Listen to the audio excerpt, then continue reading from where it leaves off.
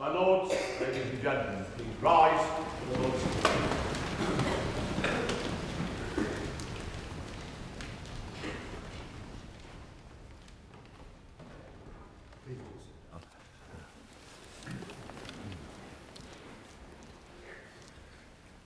Well, good afternoon, everyone. I hope everyone's uh, comfortable on these uh, red benches. Um, this thing here the, um, is not quite as comfortable, I think, as yours, but there we are. Uh, my name is uh, Norman Fowler, and I am the Lord Speaker. It's a role uh, that I was elected to in July 2016 uh, by my uh, peers here, and obviously it involves sitting in the chamber uh, and when we have debates. Above all, today, I'm very pleased to welcome you all to the House of Lords for this important debate. It's the 11th time um, we have opened the chamber and invited those who are not members of the Lords uh, to come and express their views from the red benches. And uh, I'm delighted that the House of Lords is hosting this intergenerational event with representatives from the British Council, the Commonwealth Parliamentary Association headquarters, the Commonwealth Parliamentary Association UK, uh, Commonwealth Common Ties Network, and the Royal Commonwealth Society. And we've got students here today from uh, Archbishop Beck Catholic College, Liverpool, from Broxburn Academy, Edinburgh, from Cardinal Wiseman Roman Catholic High School, London, uh, from uh, De Aston uh, School, Market Rasen, uh, from uh, Holy Family Catholic School and Sixth Form, uh, London, Hunter House College, Belfast, Newham Sixth Form College, London, Queen's Mary Grammar School uh, in Walsall, Turnbull High School, Glasgow, and Whitley Bay High School, Tyneside. So, you've travelled from all over the, the United Kingdom to uh, share your thoughts and opinions on the important issues um, of the United Kingdom's role in international relations, and I'm looking forward, and so I know my colleagues, uh, to hearing uh, your views and personal experiences. I'd perhaps just say a few words about the format um, of today's debate. First, we're going to start with a vote to see what you think now before the debate has actually uh, begun. And uh, Christine Salmon uh, Percival, sitting opposite me, will be timing the speeches uh, today using the digital clock. Christine also has a bell to signal you are running out of time or you have run out of time. We don't actually use that in House of Lords debates, but frankly, at times I think it would be a very good idea if we did. we will open with uh, six main speeches from three different teams who will each address the primary question underpinning today's debate from a different uh, perspective. That question, what are the challenges for international relations in the 21st century, will then be opened up to the floor when I'll be calling on some people by name, uh, but others simply raise their hands if they wish to make contribution, and we'll try and get as many of you in as we conceivably uh, can do. Um, if you do wish to speak during the floor debate, uh, could I ask you to clearly raise your hand and if I select you, please tell us who you are, select, state your name. And I'll also remind you that you should speak for the option uh, you agree or disagree with. It doesn't matter um, uh, where in the chamber that you're um, actually uh, seated. And please take note to abide by the rules um, of uh, debate. I have some rules here, but I think you know most of them about being constructive and respectful. And it says here, please don't swear, but I wasn't thinking most of you would actually uh, in this uh, uh, uh, context. Following the floor debate, uh, we will have the closing summary. Speeches after which a chance to vote again for the option that you find most compelling. In other words, we will know what impact the debate has had uh, upon your voting. Now, those of you uh, on the red benches now have the opportunity to vote for the options to test what everyone thinks before the debate begins. There will be three votes and you may vote only once. Please raise your hands clearly so that the doorkeepers uh, can uh, see you and count uh, your vote. And as you remember, there are three perspectives. Perspective one the United Kingdom should aim to work closely with the Commonwealth, European countries, the European Union, and global partners to achieve common regional aims. So raise your hands if you're in favour of that perspective one.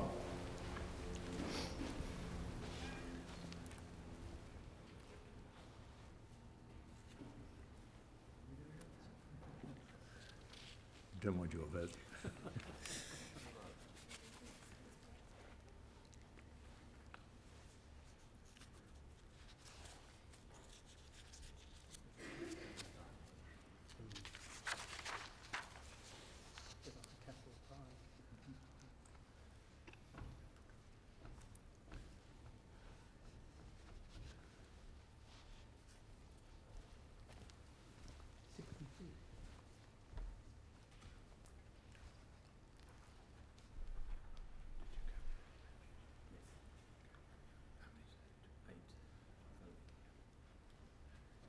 Okay, everyone finished counting? Thank you very much indeed. Carry on, please, my lord. Yeah, we're ready. So please raise your hand now to vote for perspective two. The United Kingdom should aim to be a global leader.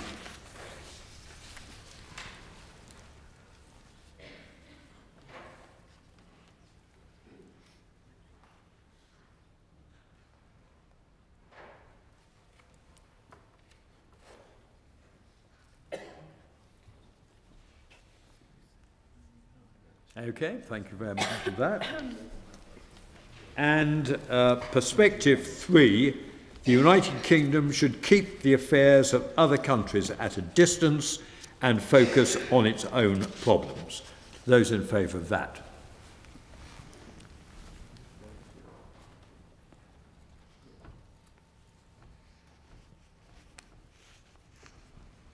Okay, well, we'll now see how it uh, ends up at the end of the debate if uh, those uh, figures uh, come through uh, to the uh, final vote. And the debates so far are vote one, um, that is the first um, option, was 124 votes. For the second, 37 votes and for the third, 12 votes. So um, the uh, first, thank you very much. The first perspective um, is at the moment um, winning by quite a high margin, but that doesn't necessarily mean that that's what it's, how it's all going to end. So we're now going to start, therefore, um, our debate. Opening speakers will be given up to three minutes to make their case uh, for, a for their particular motion. Christine will ring the bell once they have 30 seconds left, and as I said, uh, twice uh, at the end of their uh, three minutes. Now, I get this thing, there we are. Once I've called on each speaker, it is very important, if I may say so, that you give encouragement to those speakers and show your appreciation by offering them a, a big round of applause. And as I said to most of you, I think, before uh, this meeting, please don't be overawed uh, by these uh, splendid uh, surroundings. It is a debating chamber, and uh, just forget uh, about, uh, for this moment at any rate, about the history and all the pomp that kind of goes with it. So, I'd now like to call upon uh, Meg Wishart to open the case for Perspective One. The UK should aim to work closely with the Commonwealth, European countries, the EU, and global partners to achieve common regional aims. Meg.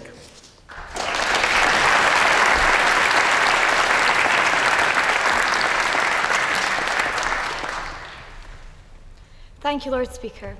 Ladies and gentlemen, my name is Meg Wishart and I am from Broxburn Academy. We live in an era where the human race is growing at an unprecedented scale. During the 21st century, the challenges we will be presented with will be international and alarming. Every individual within this chamber will be impacted by climate change. There is nothing we can do independently to defend ourselves. Individually, we are powerless. Our very existence is endangered by climate change.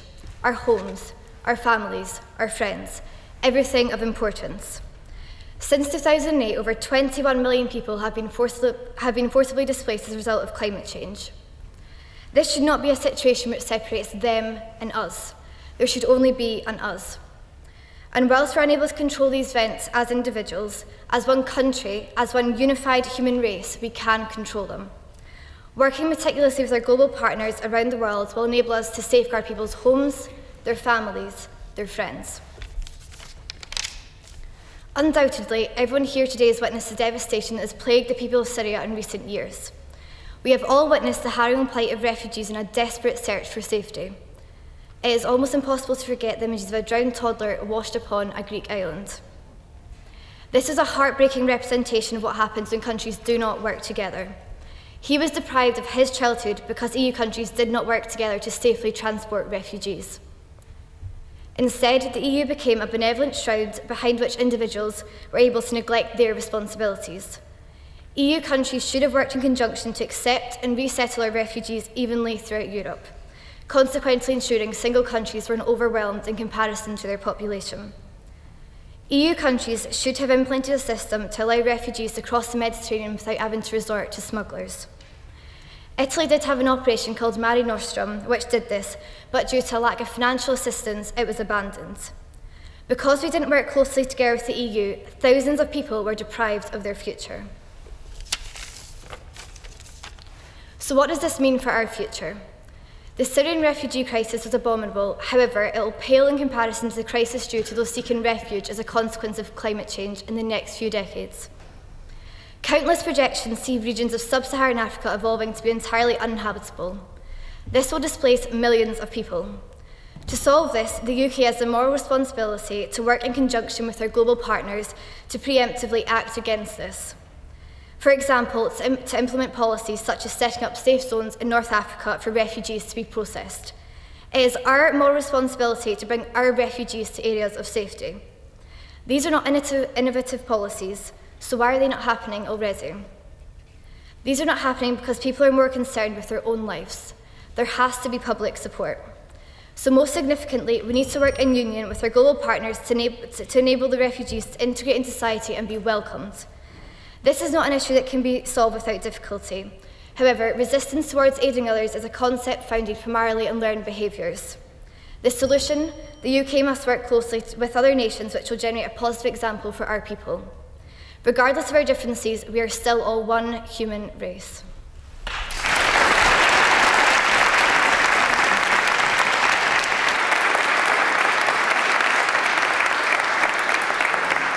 Thank you very much indeed. Uh, I'm now going to uh, call upon uh, Emily McConnell to open the case for Perspective 2. The UK should aim to be a global leader. Emily.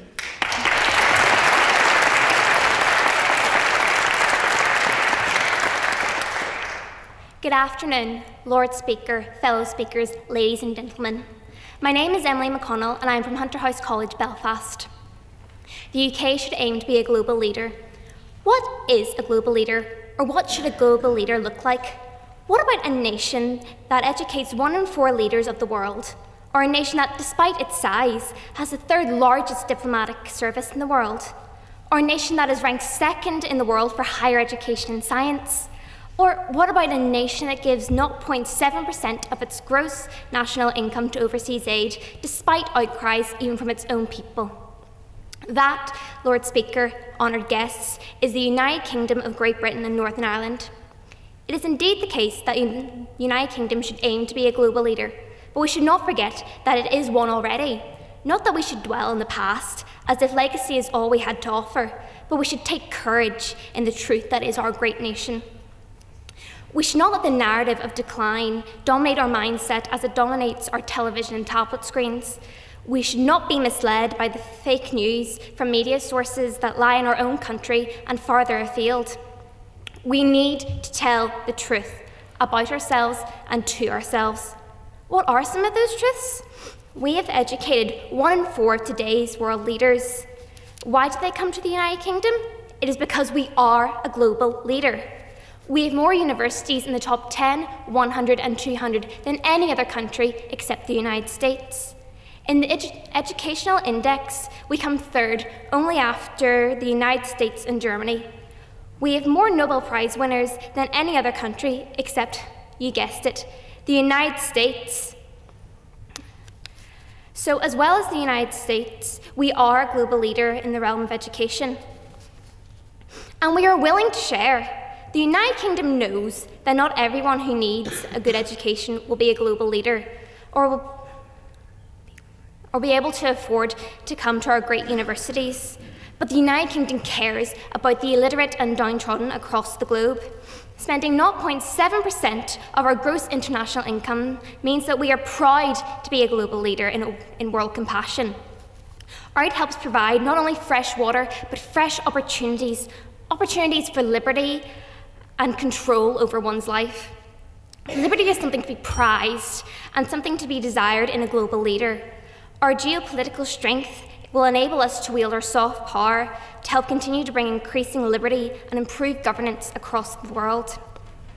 With continued investment in all that makes our United Kingdom great, great, we should not only aim to be, but continue to be an outstanding global leader.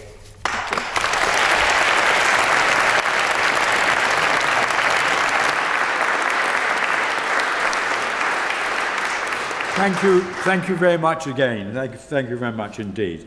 Uh, now, um, the next speaker, I would like to call upon Elizabeth uh, Negus, and she is going to open the case for Perspective 3. The UK should keep the affairs of other countries at focus on its own problems. Elizabeth.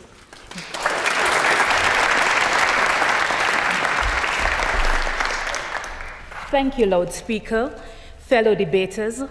My name is Elizabeth Negus from the Royal Commonwealth Society. I fervently believe that the UK should focus on its affairs here at home instead of focusing on the problems of other countries. On the 23rd of November 1918, a well known politician asked, What is our task? This was followed by, to make Britain a fair country for heroes to live in. End of quote. the 21st century has presented Britain with problems of such great magnitude that finding solutions seems virtually impossible. Globalization and the increasing rise in technology have contributed to the immigration crisis, homelessness, joblessness, religious conflict, to name but a few. These issues have put a tremendous strain on Great Britain. Consequently, it stands to reason that if we are to help and support other countries, we must first and, and foremost strengthen our economy, in particular, our health and education departments. UK public spending faces continued, continued funding shortages, and with Brexit looming on the economic horizon, will further weaken our personnel and resources. Just look around and think about Britain in the 19th century when it was a great empire. A strong country can do unprecedented deeds for countries impoverished by wars, famine, sickness, etc. So, key to Britain's survival, I believe, in the 21st century means focusing on its own affairs instead of interfering with the problems of other countries. Thank you for listening.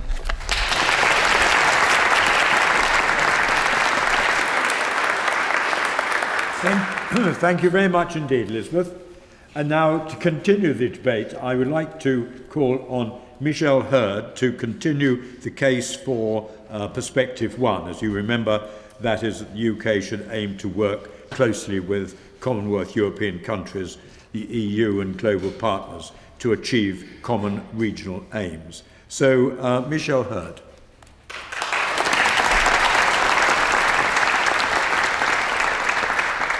Thank you. that the UK should aim to work closely with the Commonwealth, European countries, the EU and global partners to achieve common regional aims is even more critical today than at any other time in the past. The challenges that international terrorism brings, conflicts through the Middle East, and tensions between global powers will require a collaborative and cooperative response with the widest range of countries and international alliances to secure peace and security at home and abroad.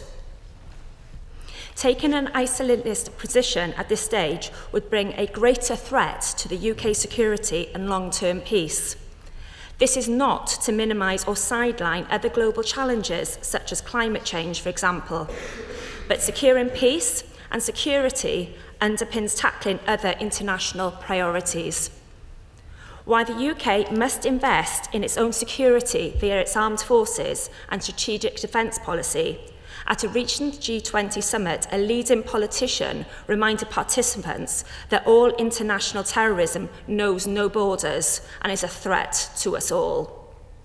The UK has a history of working closely with others to tackle shared threats and has accomplished much as an active partner in NATO, the world's most successful defence and peacekeeping organisation.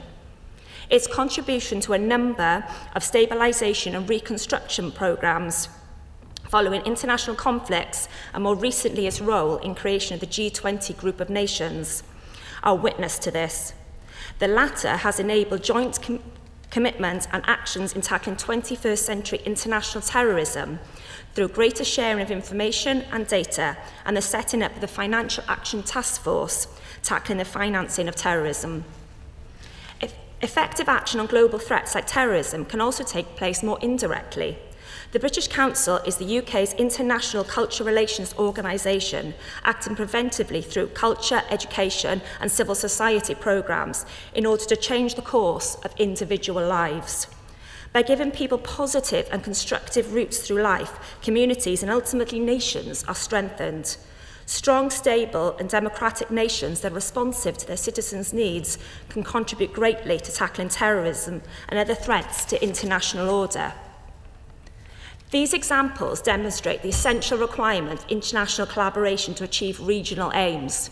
Specifically, if the UK is to develop a long-term response to achieving peace and security on a global basis, it has to maintain and potentially expand its alliances and collaborations with others to address the root cause of instability worldwide.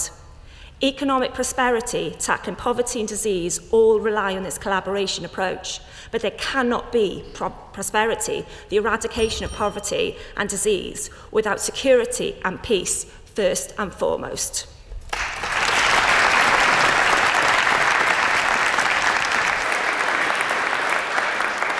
Michelle, thank you very much indeed for that. And I'm now going to call on Praise Johnson to continue the case for perspective two, the UK should aim to be a global leader.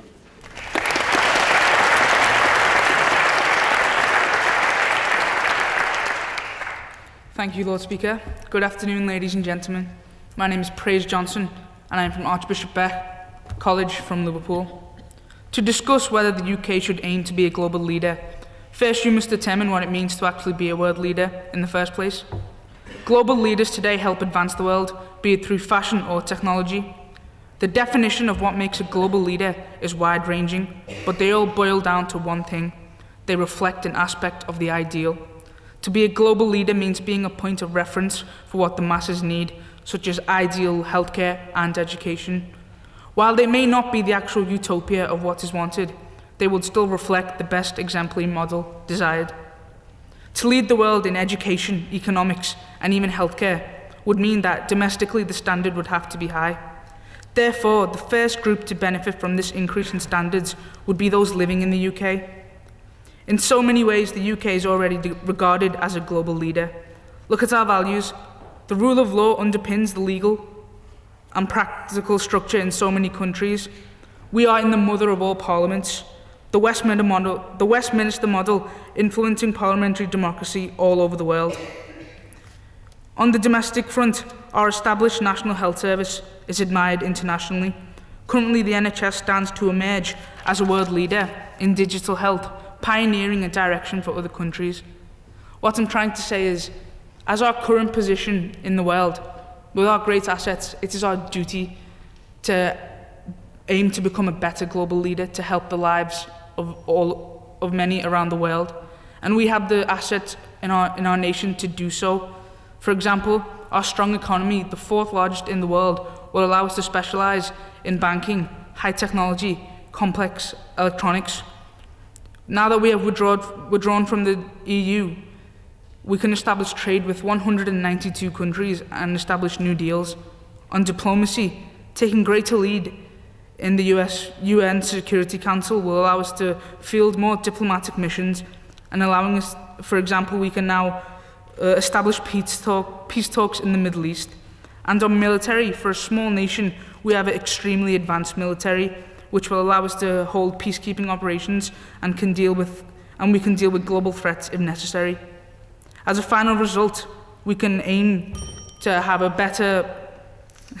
As a final result, we can aim and contribute towards progress all over the world and the betterment of society. We cannot let the betterment of human lives be confined to citizenship. Thank you very much.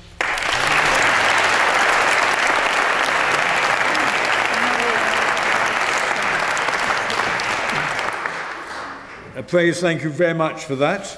And um, I'm now going to call on uh, Mary Gabrielle Bondo to continue the case for uh, Perspective uh, 3, that the UK should keep the affairs of other countries at a distance and focus on its own problems.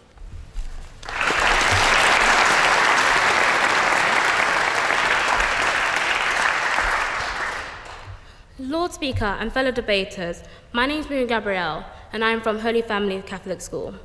Imagine a world where thousands of people are homeless. You can't even get to a train station without someone begging for money. You can't receive the healthcare you need. Well, ladies and gentlemen, you don't need to imagine it because it's the world we're living in now. My house believes that the UK should keep the affairs of other countries at a distance and focus on its own problems. Thus, I'd like to clarify some things, such as the UK will remain in all the organisations they are part of as, as of currently, such as the Paris Climate Agreement and many more, as the UK has to honour its commitments. On to my first point. For many years, the NHS has been neglected by the government. They have failed to fund the NHS with a sufficient amount of money to the point where it's become a humanitarian crisis. A British organisation says the NHS is facing a humanitarian crisis as hospital and ambulance services struggle to keep up with the rising demand.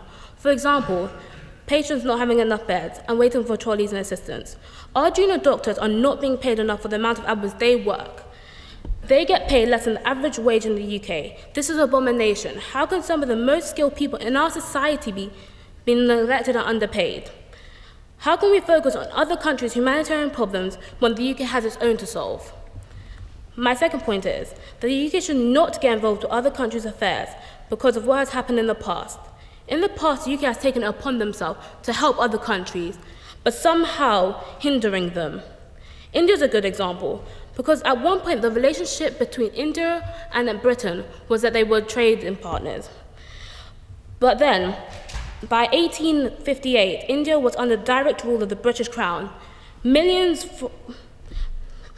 During that period of time, Britain helped India with infrastructure. However, Britain took millions from taxpayers and took advantage and exploited people who could not pay their taxes.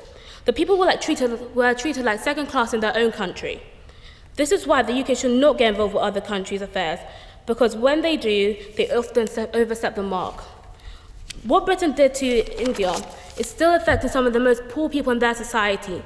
Majority of the time, when Britain gets involved with other country, it ends badly. To conclude, my house believes that the UK should keep the affairs of other countries at a distance and focus on its own problems. I urge for you all to agree with my House's motion. Thank you for listening.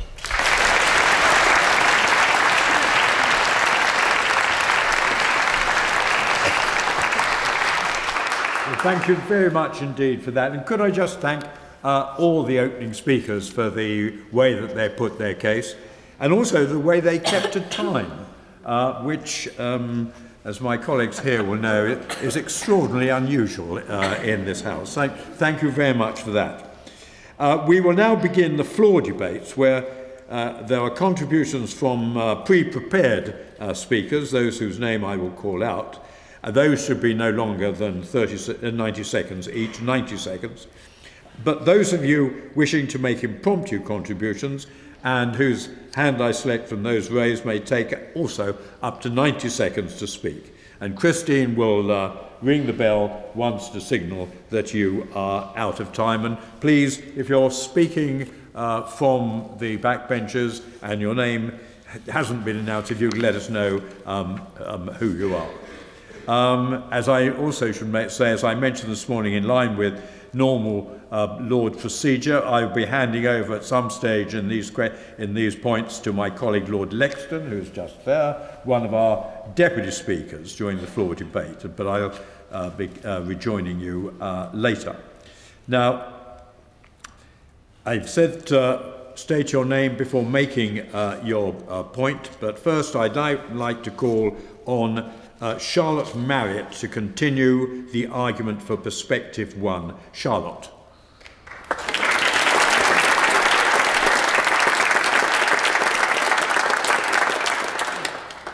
Um, my name is Charlotte Marriott and I'm from De Aston Secondary School. Lord Speaker, fellow debaters, the Commonwealth, European Union, European countries and global partners are significantly important in terms of achieving common regional aims.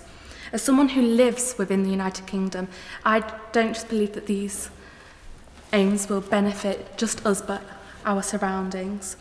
It will help us as a society grow overall. For example, the Commonwealth provides a space where big and small nations can speak as equals. It is a voluntary association and allows everyone to have a voice.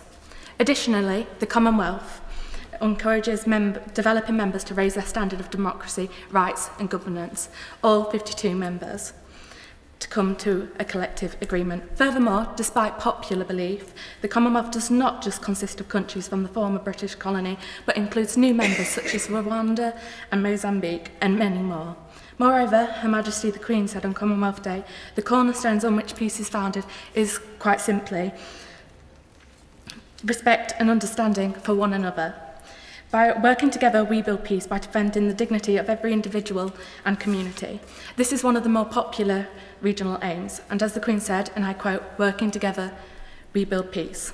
On the 12th of September 2017, the UK offered a deep security partnership with EU post-Brexit in the face of growing global threats with the aims of working closely to prevent illegal migration, terrorism, cyber and state-based threats. By creating this partnership, not only are we working closely to achieve said aims, but we're also working closely to an alliance with the European Union. Thank you.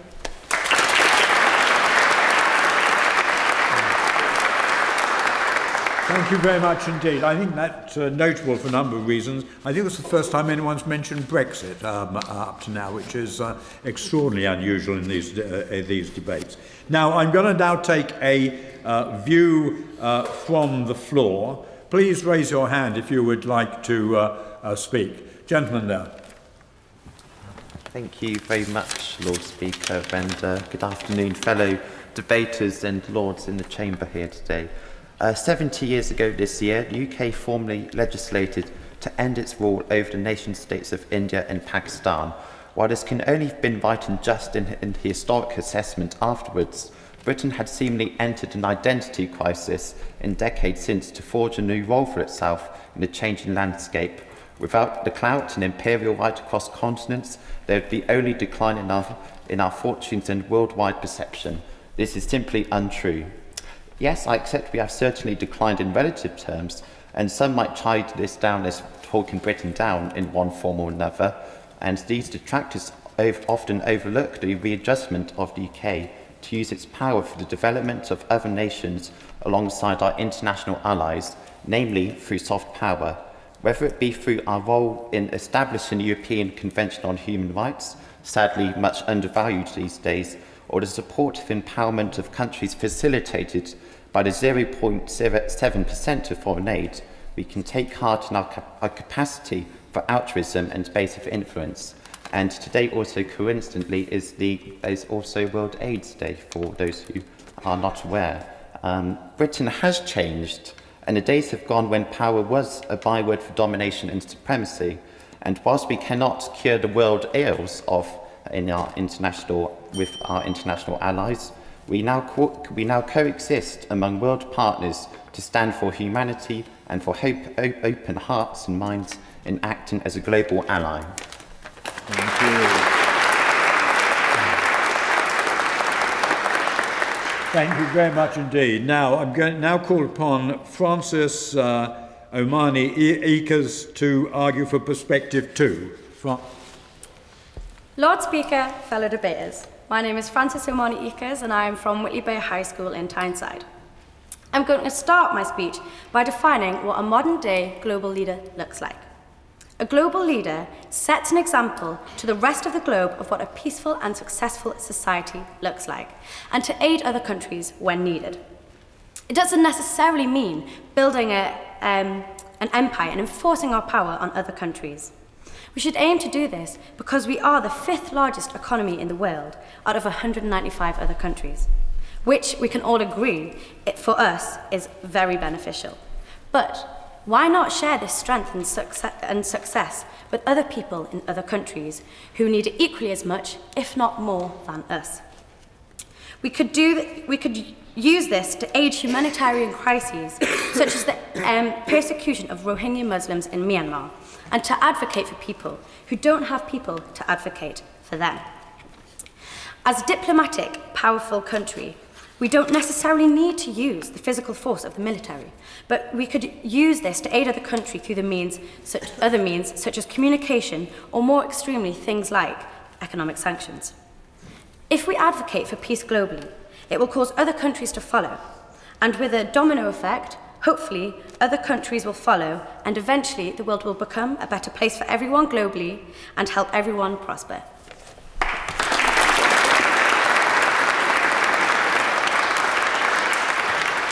Thank you very much indeed. And now a view from the floor. Please raise uh, hands. Uh, lady there. Good afternoon, Lord Speaker. My name is Thranaini, and I am the British Youth Council's UK Young Ambassador to the Commonwealth. I'm also a guest um, of the Royal Commonwealth Society. I chose to stand for the position of Young Ambassador to the Commonwealth and work to raise UK youth voice within the Commonwealth, as I strongly feel that Britain should work with the Commonwealth and other global partners in order to create positive change um, through collaboration. This is why I am advocating for Motion 1. The Commonwealth embodies almost a third of the world's population and is predominantly made up of young people where over 60% are aged under 30. With such a strong network bursting with refreshing, rich and diverse thoughts, why shouldn't we harness this opportunity to work together and achieve regional aims? The UK will be hosting the Commonwealth Youth Forum for the first time in history this April 2018, and the Commonwealth Heads of Government meeting um, will be held after. This provides the greatest opportunity for us to move forward, challenge ideas, and be challenged, um, as well as working with a vibrant group of countries to discuss prosperity, sustainability, fairness, and security. Unity is the biggest strength, which is why I believe that the UK working closely with the Commonwealth, EU, and other global partners will be the right choice. Thank you.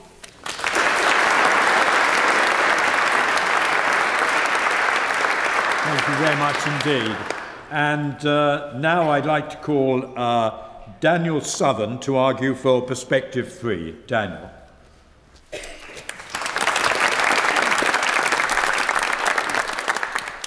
Lord Speaker, fellow debaters.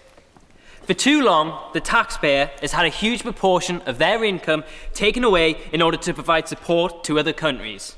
Now, I'm not saying helping foreign countries is bad. However, we are currently in a crisis. More and more employed people are having to visit food banks in order to survive. The fact that workers can't even afford basics like food and water proves that we cannot afford to help other countries. 2016 figures show that we paid £13 billion in foreign aid. Why are we spending an unnecessarily large sum of money on other countries rather than using it to support our country, our economy, our people?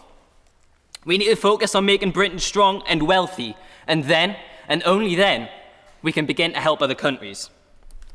Now, even if we could afford to give foreign aid, which we can't, whenever we try to help out with foreign crises, we don't seem to have much success. An example of this is our intervention in Afghanistan, which only led to the deaths of innocent people and British soldiers. We tend not to be impartial when dealing with conflict. Another example of this is how we choose to ignore the human rights abuse in Saudi Arabia. We only ever tend to make problems worse for other countries, and therefore it is in everyone's best interest that the British focus on our own economy, our own people, and our own problems. Thank you.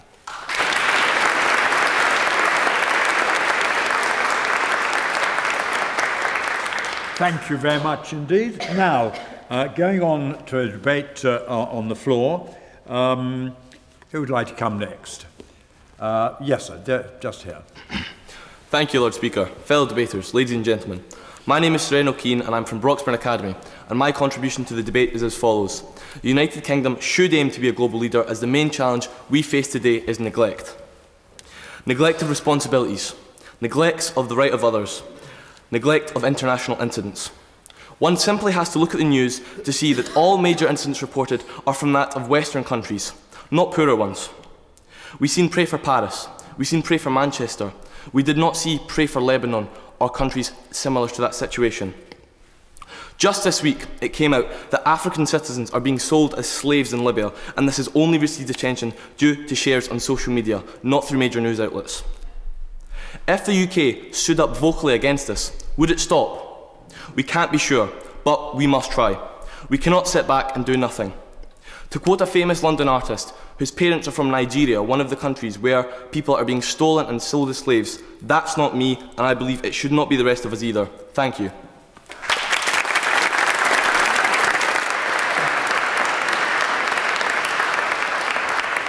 Thank you very much indeed. Now another from the floor. Uh, the uh, lady right over there, that's it. Thank you, Lord Speaker. Ladies and gentlemen, my name is Kanika Thakur and I am a representative of the Royal Commonwealth Society. I would like to speak in favor of the role of United Kingdom in building relations in the 21st century by working in close collaboration with the Commonwealth countries as well as the European Union. I would like to bring your focus on the two most important things. Firstly, terrorism the human race is facing a major threat, and that is the terror threat.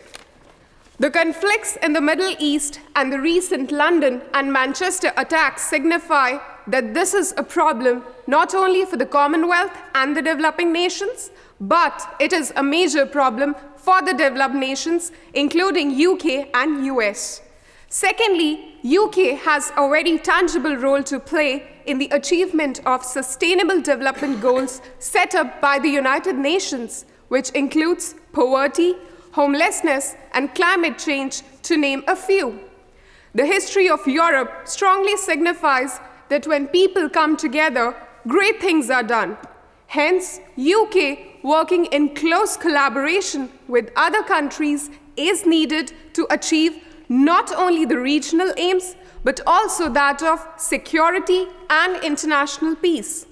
Working together, we can bring peace and protect the integrity of every individual, and this can be made possible only by practical and tangible collaborations. Thank you.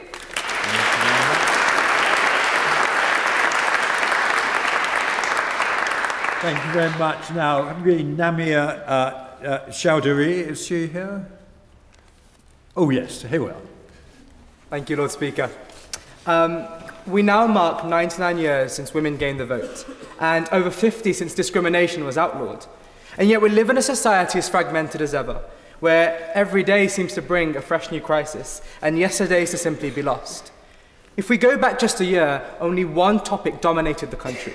And yes, it was a momentous decision that will shape years to come, but it demonstrates an internalistic mindset that shows just how easily we forget about the rest of the world.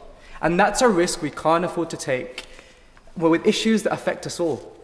See, I'm a proud British Bangladeshi, but I watch as climate change fueled disasters ravage my country and 8.5 million people, destroying livelihoods and even lives.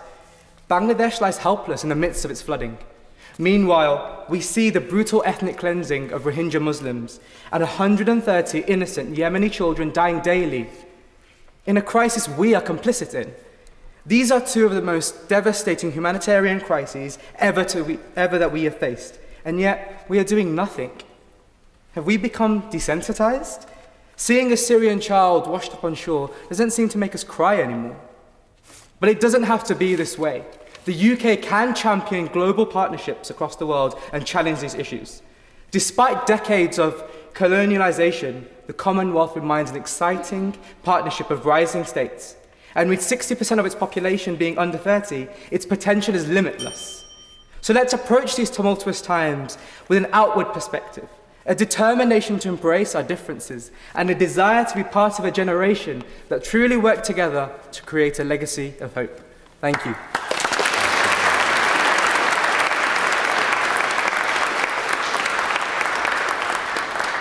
And now uh, a view from the floor. Let me get someone right over there, right, right at the back in, with a white shirt. Thank you, Lord Speaker. My name is Ben Carr and I'm from Queen Mary's Grammar School. And I put it to you all that the United Kingdom has a moral responsibility to be a global leader. In days not too far gone by, we were once the colonial rulers of the world, holding over a quarter of the world's population and landmass. We must not forget this, though we must not dwell on our past. We must ensure that these nations continue to prosper and continue to grow. Whilst they are not there yet, it is our duty to bring this to them as a world leader. I need not remind you that many countries that were former colonies of the United Kingdom are now in dire states.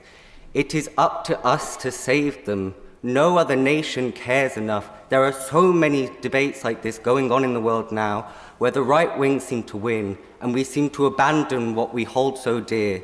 To neglect our responsibility in the world as a global leader is to neglect what built this house, is to neglect what built this nation, is to neglect what built the world, the United Kingdom.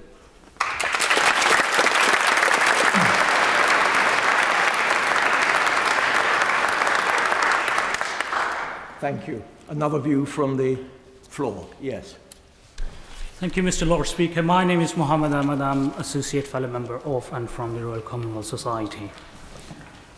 In the, in the light of the current challenges being faced by the United Kingdom, one of the challenges is the risk which is being posed after the Brexit is that UK may be working in some isolation, if not complete isolation. Now, it is extremely important for us to work closely with the Commonwealth, the European countries, and other global partners to achieve a secure and prosperous future for our children. In relation to the Commonwealth, it forms a diverse group of 52 countries, which include developed and developing countries. These markets offer a wealth of opportunities to United Kingdom's businesses in all sectors, from primary sector to tertiary sector which certainly shows working closely with these countries will help us achieve stronger and more united Britain. Moving on to the European countries, the UK has a strong history of collaborating with the European partners on science and innovating through the EU, pan-European and bilateral initiatives. To make the most after this overture, to continue scientific collaboration with the EU, the government must push and start making firm commitments on migration, regulations, and scientific funding that push in the same directions to ensure the UK truly benefits from being a partner of European countries. Mr. Lord Speaker and my fellow debaters, this clearly shows that it is for our benefit to maintain this partnership with global partners to achieve common regional aims. Thank you.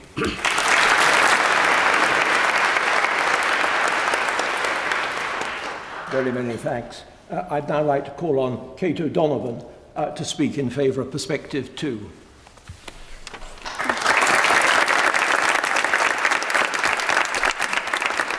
Thank you, Lord Speaker. Fellow debaters, my name is Katie Donovan and I'm from Broxburn Academy in Scotland.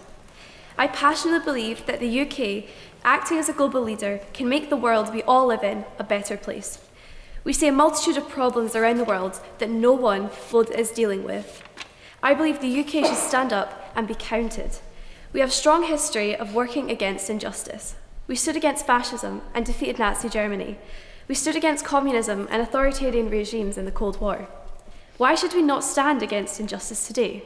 If we won't, who will? Muslims are facing forced relocation and ethnic cleansing in Myanmar. The shocking civil war in Syria, Syria rages on, creating more and more refugees. Violence against women is still prevalent around, all around the world. And while our country isn't without fault, I still believe we must stand up and lead the fight against these injustices. We cannot be passive bystanders in such an iniquitous world. It seems like almost a daily occurrence that we see more and more stories of sexual harassment from people in positions of power. This all came from one person being brave enough to stand up and act against injustice. If we are to stand up, if we are to challenge injustice around the world, it could have a snowball effect. An example is that the UK has controversial trade deals with countries where women are seen as second class citizens. If we set an example of not dealing with countries that with these countries, that, that could be a positive force for the good in the world. There are people all around the world just waiting for someone to stand up for them. That should be the UK. We must learn lessons from history. We must take up the role of a global leader. We must speak out for those who do not have a voice. Thank you.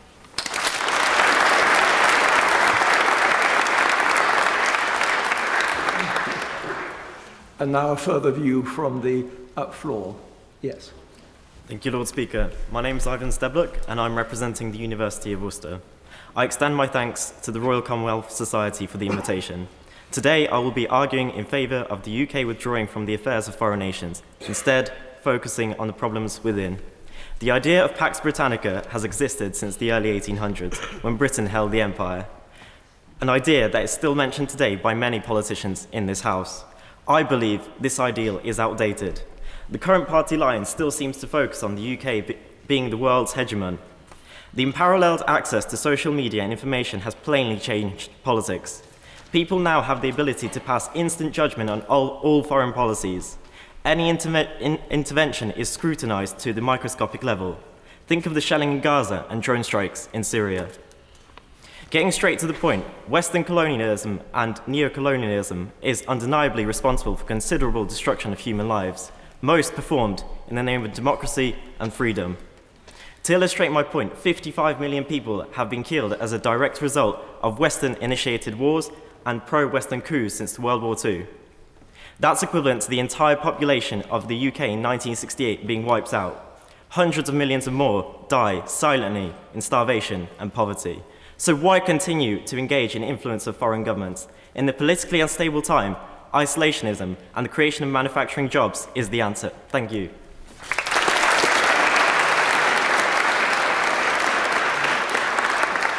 Many thanks. Uh, I'd now like to uh, call upon Marianne Hamill uh, to speak for Perspective 3.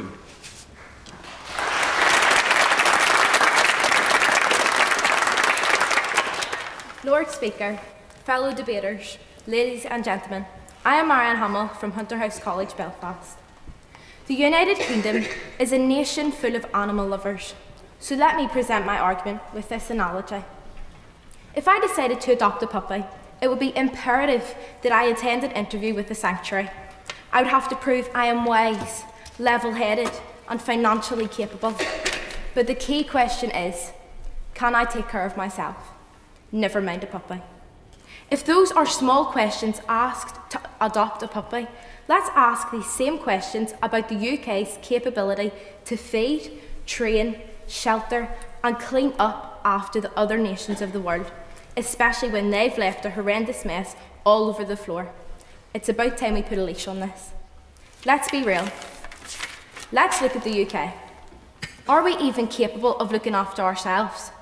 Are we even capable of looking after our people, never mind the nations of the world? We talk about feeding other nations. Look at our food banks. We talk about bringing shelter to other nations. Look at our homeless. We talk about bringing peace to other nations. yet enjoy being at each other's throats.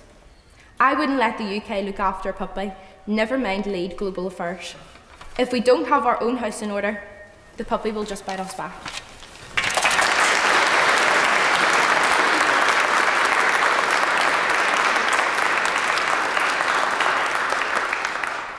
Very many thanks. Uh, a further contribution from the uh, floor?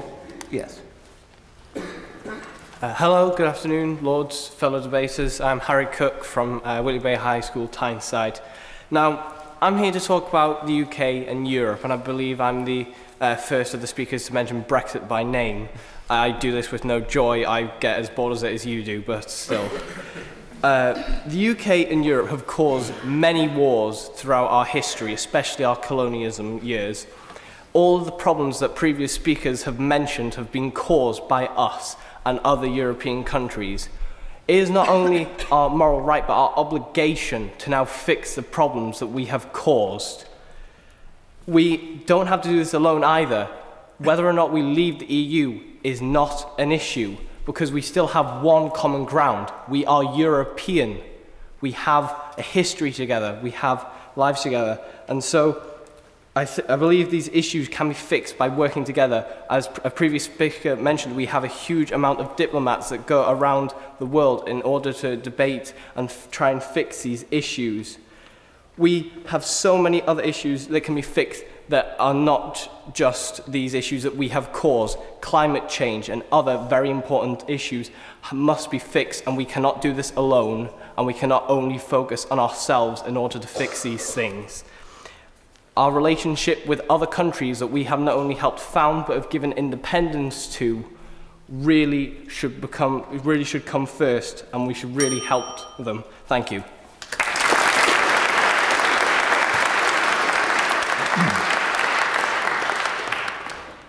I'd now like to uh, ask Emma Skelton to contribute to this debate.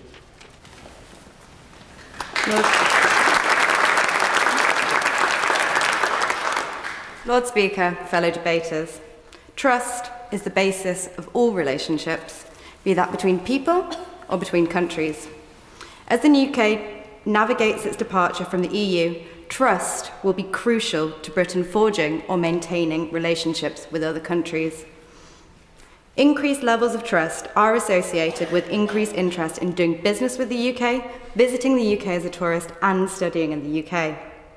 Various studies also show links between increased trust and increased interest in doing in foreign direct investment and exports. Trust, therefore, not only increases the UK's standing in the world, but also paves the way for a more prosperous Britain. So, what makes people trust the UK? Often cited are the UK's strengths in its higher education system and cultural institutions.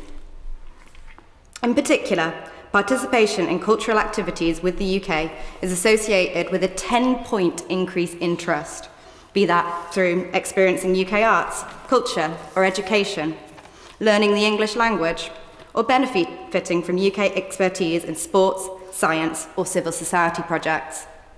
In general, the UK's people and institutions are and continue to be widely trusted. But it cannot be afford to be complacent.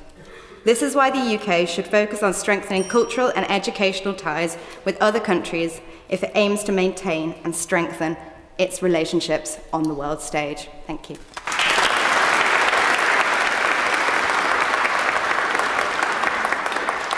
Thank you. A further contribution from the floor. That's all, thank you. It's Vincenzo Sinaguglia, a Manchester Metropolitan University graduate. Lord Speaker, let's continue talking about Brexit. I would like to introduce an aspect of this debate which has been largely overlooked or not deemed relevant in government negotiations in Brussels regarding our future outside the European Union.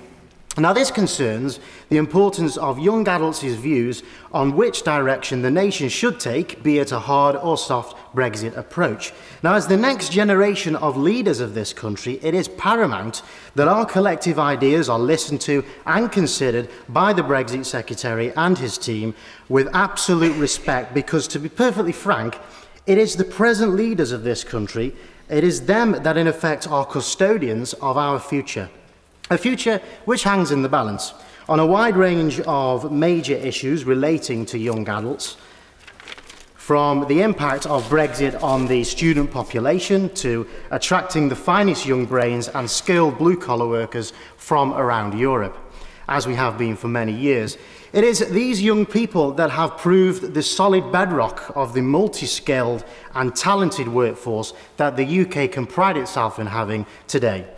It is this ability for us as a united nation, uh, one that is inclusive of the opinions of all in a famously democratic society, to include the voice of young adults amongst all of us, that truly makes us the global leader. As the individuals whom will live and work within a UK outside the European Union, we are the next generation that will have to deal with its repercussions, negotiating a different looking jobs landscape. Thank you.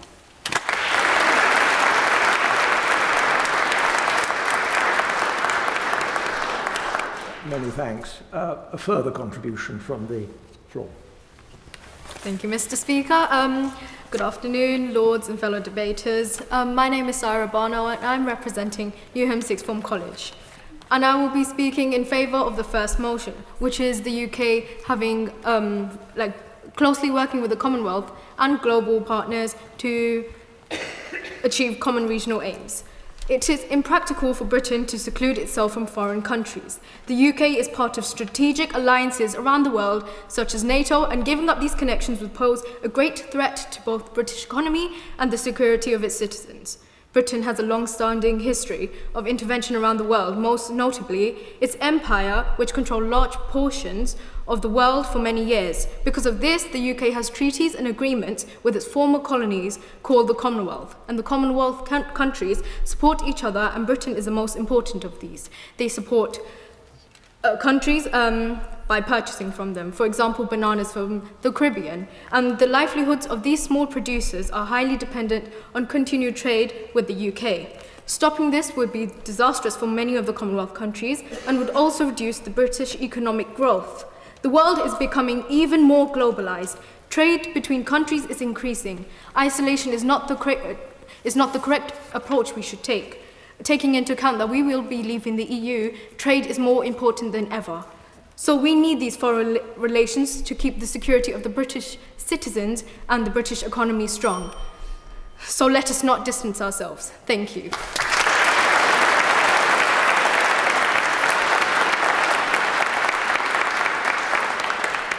Many thanks. Um, I'd now like to call on uh, Caitlin Lacey uh, to speak for Perspective One.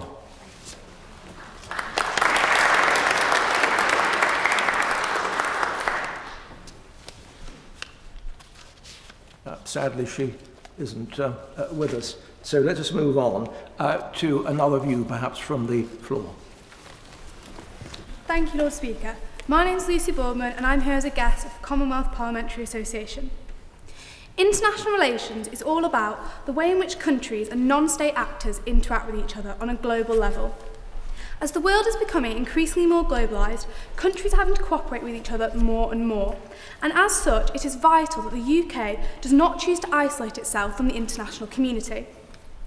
Worldwide issues such as global poverty and climate change cannot be tackled alone, and domestic issues relating to trade, the economy, security and social affairs are undoubtedly linked to those of other nations, which is why the UK should be aiming to work with the Commonwealth, European countries, the EU and global partners to achieve common goals. We must not forget about our independence as a country, but instead of making unilateral decisions, regular, open and transparent dialogue is needed to ensure productive collaboration between states. This is how the UK can support and contribute to international relations in the 21st century and help produce well thought out productive policies that work towards common regional aims and a safer future. Thank you.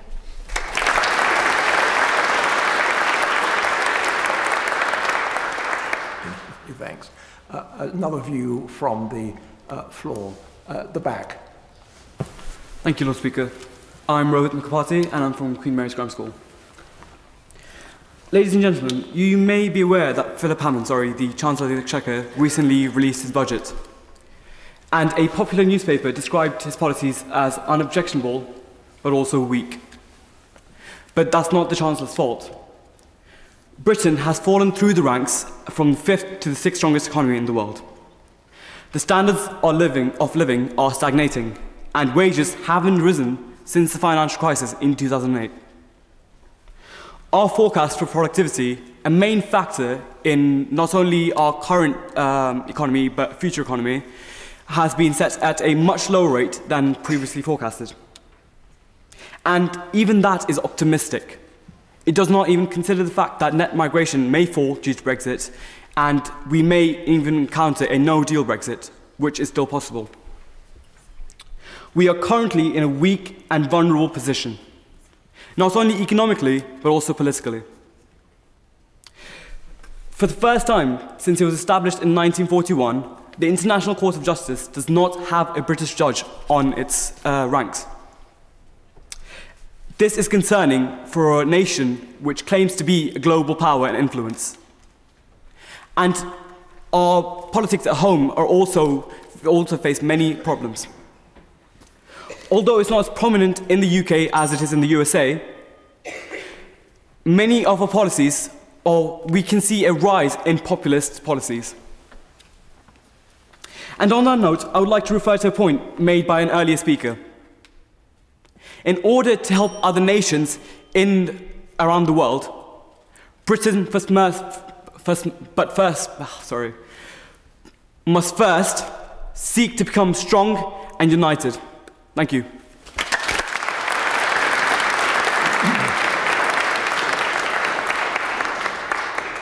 Again, many thanks. I'd now like to call on Chloe Chuk to argue for perspective two.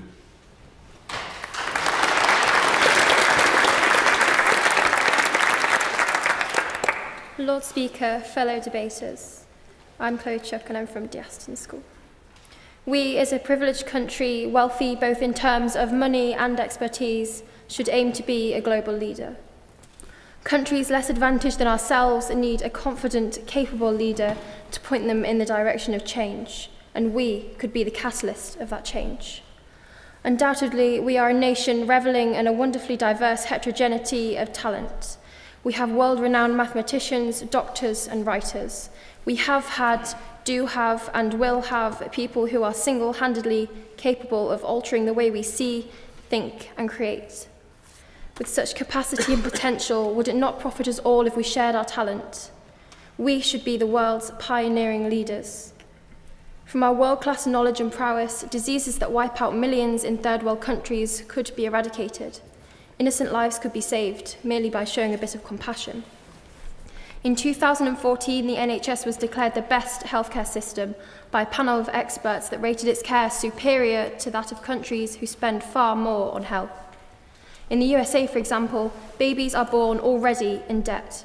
The delivery itself, itself can cost upwards of $10,000. Compare that to the UK, where prenatal, birth and postnatal care are all free. Having a family member die simply because they couldn't afford a procedure is unimaginable to someone who is, has lived in the UK their entire life. But this is the harsh reality for millions around the globe. It's so easy to ignore when it isn't your child, your mother, your grandparent. Thank you.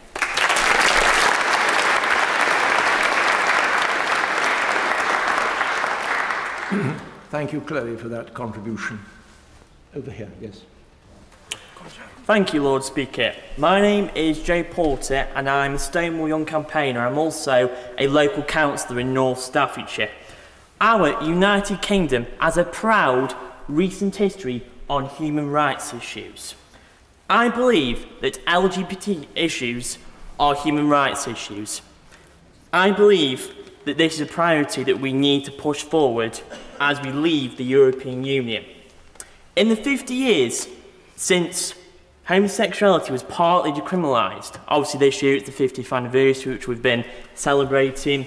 Britain has become a more modern, inclusive, and tolerant country. We've had same sex marriage recently. Gay and bisexual men are now able to donate blood. And homophobic bullying is finally being prioritised thanks to the work of our current Education Secretary, who has really pushed this forward. However, this is not the case across the entire Commonwealth. In fact, 36 out of the 52 Commonwealth nations, homosexuality is still illegal. And that's shocking, that is. In some of those countries, you can even be given the death penalty for being a gay man like I am. So if I went to Nigeria, for instance, in some parts of Nigeria, I would be given the death penalty for any homosexual acts, even though it's my right to choose who I love. As we leave the European Union and we become a more global Britain, we should aim to reach out to the world. We should aim to come out for LGBT people. We, when we form trade deals with these countries, we should raise human rights issues like the ones I'm talking about, and we should make it a priority. So let's come out for LGBT. Let's make the world a more loving and accepting place for all, regardless of who we choose to love. Thank you.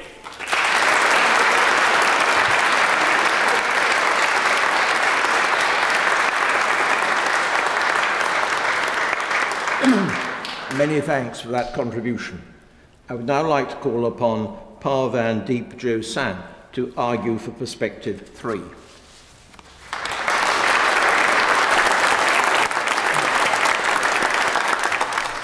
Lord Speaker, we have heard many impassioned arguments from all sides of this debate. However, whilst much has been made of our economic power, indeed my, my honourable friend mentioned that we are the fifth largest economy in the world, this economic growth and expansion is founded upon the actions of multinational firms with profits that leave our borders. We are no global economic leader. We are merely a marketplace where the biggest firms in the world come to trade. Just look at the inflation of house prices and property prices, in London especially, but also in the country as a whole. The next generation will be called Generation Rent for a reason. They will never be able to own their own homes. It will become a dream that is unattainable and unachievable. Food bank usage too has increased by 40% over the last five years. And this, Lord Speaker, is the greatest betrayal of all. We are no global military leader too. Our huge military budget has not stopped us from getting involved and stuck in the quagmire of Iraq or Afghanistan leading to the loss of British lives in a country that has no connection to us with people that have nothing to do with us. Now imagine if this money was spent on our own problems. Because the crux of this argument is the state of our own public services and the fact that food bank usage has, in, has increased by 40% in the last five years. Given these severe problems at home, shouldn't we focus on our own problems first, rather than try to take a position of global leadership we no longer possess? The days of our empire are long gone. Let us not pretend that they still exist. Thank you.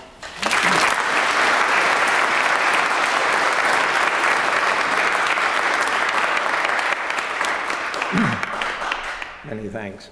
I'd now like to call on Pierce Robinson to contribute to this debate. Lord Speaker, Lord Speaker, fellow debaters, the United Kingdom is at an inflection point in its history. Strategic foresight and global alliance building will be critical to maintaining its position as a global agenda setter and the pillar of the liberal international architecture. As Brexit negotiations continue, Britain must look to the future, beyond Europe, to its most steadfast alliance, the Commonwealth. The chair of this House's International Relations Committee said the hope for democracy, good government, the rule of law, and the projection of our values through soft power is increasingly going to have to be through the rest of the English speaking world, in other words, the Commonwealth. And his point is well taken. The Commonwealth represents 52 nations scattered strategically across the world, of which 52 nations represent 2.4 billion people who represent one third of the world's population. This means that the Commonwealth can become what the EU has not a bulwark against the rise of illiberal organizations, state run capitalism, and a truly global alliance bold in its advocacy for democracy and universal rights. The Commonwealth as a strategic central alliance, renewed relationship with the EU is essential for Britain's foreign policy position going forward to achieve common global and regional objectives. And that, my Lord, is why I encourage this Honourable House to join me and stand in support of Perspective One. I thank you.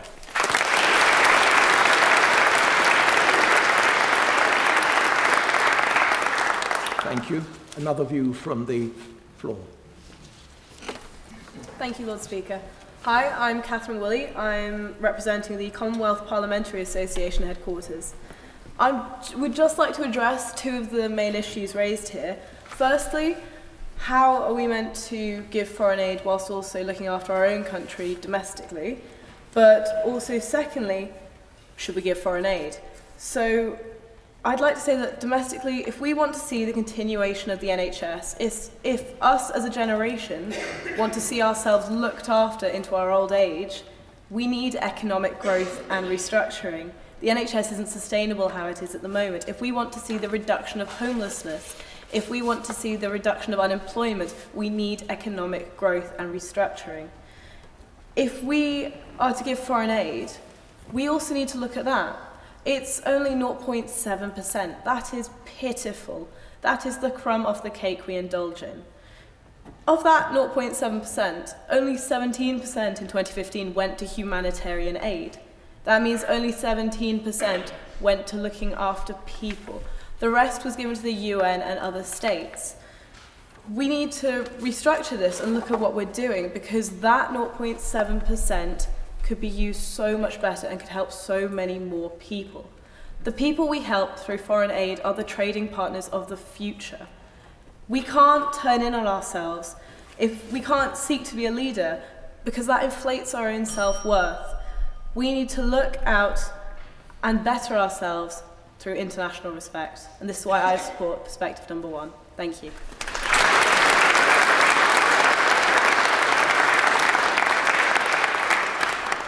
Thank you. I'd now like to call on Lewis Longman uh, to speak for Perspective One. Thank you, Lord Speaker. uh, my name is Lewis Longman. I'm from Archbishop Beck uh, Catholic College, Liverpool. Um, our great nation is built upon the foundations of trade, cooperation, and liberty, always remaining at the head of world humanitarian and diplomatic efforts. A leader, a guardian of basic human liberties, a true force of freedom spreading values of democracy and fair governance. Britain stands as a bastion to all nations. However, we are at a pivotal moment in the development of the world political stage. As an international community, we must stand steadfast against ideological shifts such as the rising tide of populism and xenophobic far-right views that challenge our modern progressive values. The rampant breeding ground of hate our poorest communities have become has resulted in the upheaval of the world political landscape. More and more we see extreme views becoming mainstream party rhetoric, normalising these views across Europe and beyond. Sorry. This cannot continue. As a nation, we must stand and fight through peace, trade and understanding working with our international partners to achieve our goal of truly, a truly free and equal world. Working to improve the situations of our vast numbers of people that have flocked to the ideological extremes. As our Prime Minister said, these are challenging times. But I am confident that a global Britain has the ability and indeed the responsibility to rise to the moment and, step, and so let us step up to the task and let us do so together. With the confidence and conviction of a truly global Britain. Thank you.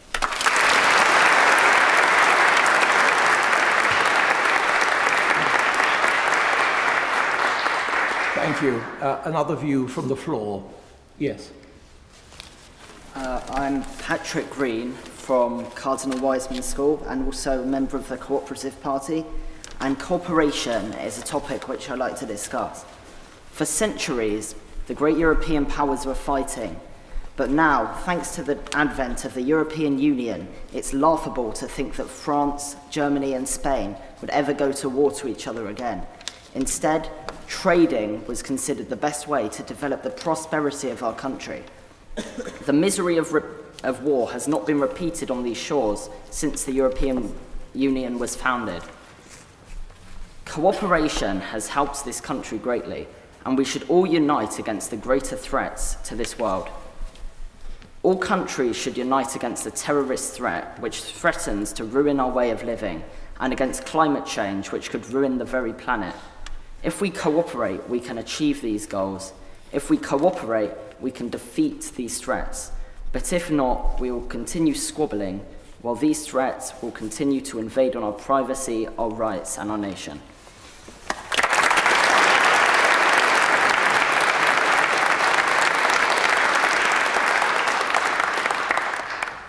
And now Andrew McNeil to argue for Perspective 2. Andrew?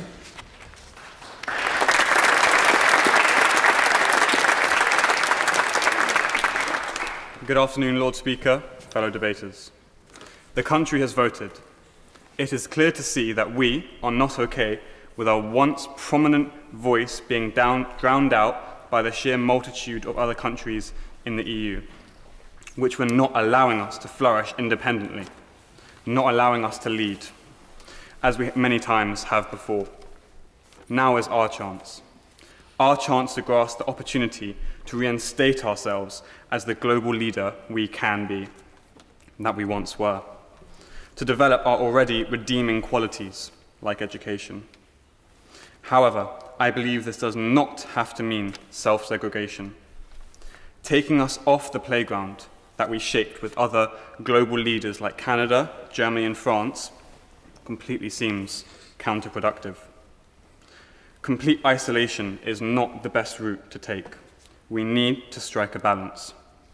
A confident and, and collected country that has the ability to work closely with other countries when needed to, like on global issues such as the environment, but also one that is not thrust, thrusted into situations like an economical crisis, that we do not want to be in, is the best way for us to become global leaders. Thank you.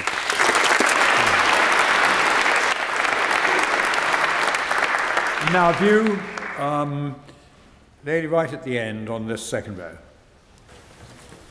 Lord Speaker, fellow debaters, my name is Hannah Graham and I'm a guest of the Royal Commonwealth Society.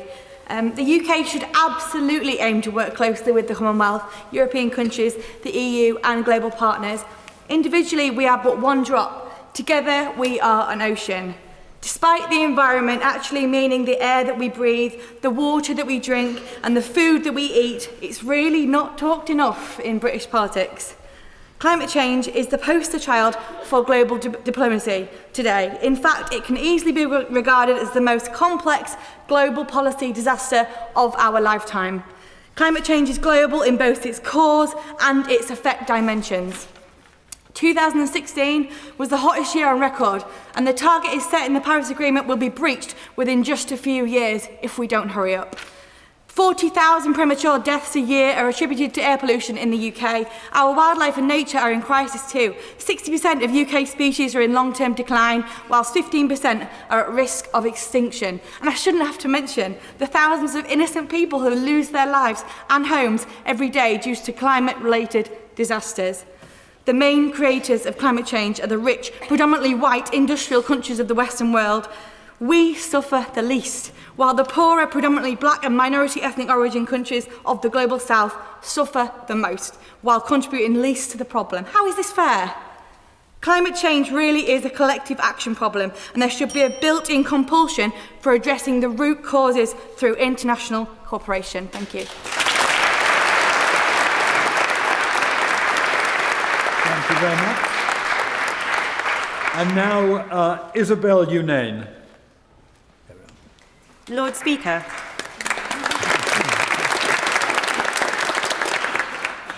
Lord Speaker, fellow debaters, the UK has pledged to embrace the world and seek to build a global, outward looking Britain that is confident on the world stage. We have sought to be a leader to strengthen international connections and forge new trade agreements. But I think the phrase global leader begs, begs the simple question what does it mean to lead? We are a nation that comprises less than 1% of the world's population. Militarily, we are outperformed by global heavyweights such as the US, China, Russia, and India. This is why we asked 11,000 aspiring young leaders the question what does good leadership mean to you? Despite hailing from 11 different countries with vastly different systems of governance, we found the same priorities for leadership collaboration and teamwork. Bringing people in rather than locking them out, bridging divides rather than building walls. The traditional military metaphor of leadership is beginning to look a bit outdated. We see this in real life as well. You're usually likely to have more friends if you can attract people with your wit, with your humour and sincerity, by the things you have in common, by your shared values. This is how cultural relations works. It helps create the trust that is essential for realizing a state's international objectives. In the words of a famous life coach, it helps us to win friends and influence people. Mutuality is the defining element. It is a two-way process. There can be student-teacher relationship in a language class, for example. And these mutually beneficial and long lasting connections are a vital aspect of the UK's national reputation. As a global cultural leader, the UK can main, maintain a position of influence. Thank you. Thank you. Thank you very much. And now a view from the floor. Um, let's go down here. Yes, sir. Lord Speaker, ladies and gentlemen, fellow debaters. My name is Jared Grant and I'm from Broxburn Academy. I feel that to firstly, for my contribution to the debate, we must first acknowledge where the UK sits on the ladder of global power and influence. We do not sit at the top anymore. Soaring above us are powerhouses like the United States and China. To further illustrate my point about just how powerful the United States is, in the United Nations, if the US does not back a plan, the plan fails. They are a global leader. We are not the US. We do not have that power, nor is it tangible that in our current state will we ever have that power. And that is why I feel that we shouldn't be a global leader, and why that we should work with the EU and other global partners to try and establish uh, tangible methods to achieve these uh, common regional aims, such as helping poverty in the third world and helping poverty in Europe as a whole. I feel that we, I feel that, sorry, I feel that there are these issues, we cannot isolate ourselves and say we must focus on only our country. That is much akin to uh, due to our past of colonialism and other such matters that we have been invested in. We have caused various amounts of these issues. We cannot shove someone in the dirt and then say, well, we still need to work on ourselves. I thank you for listening.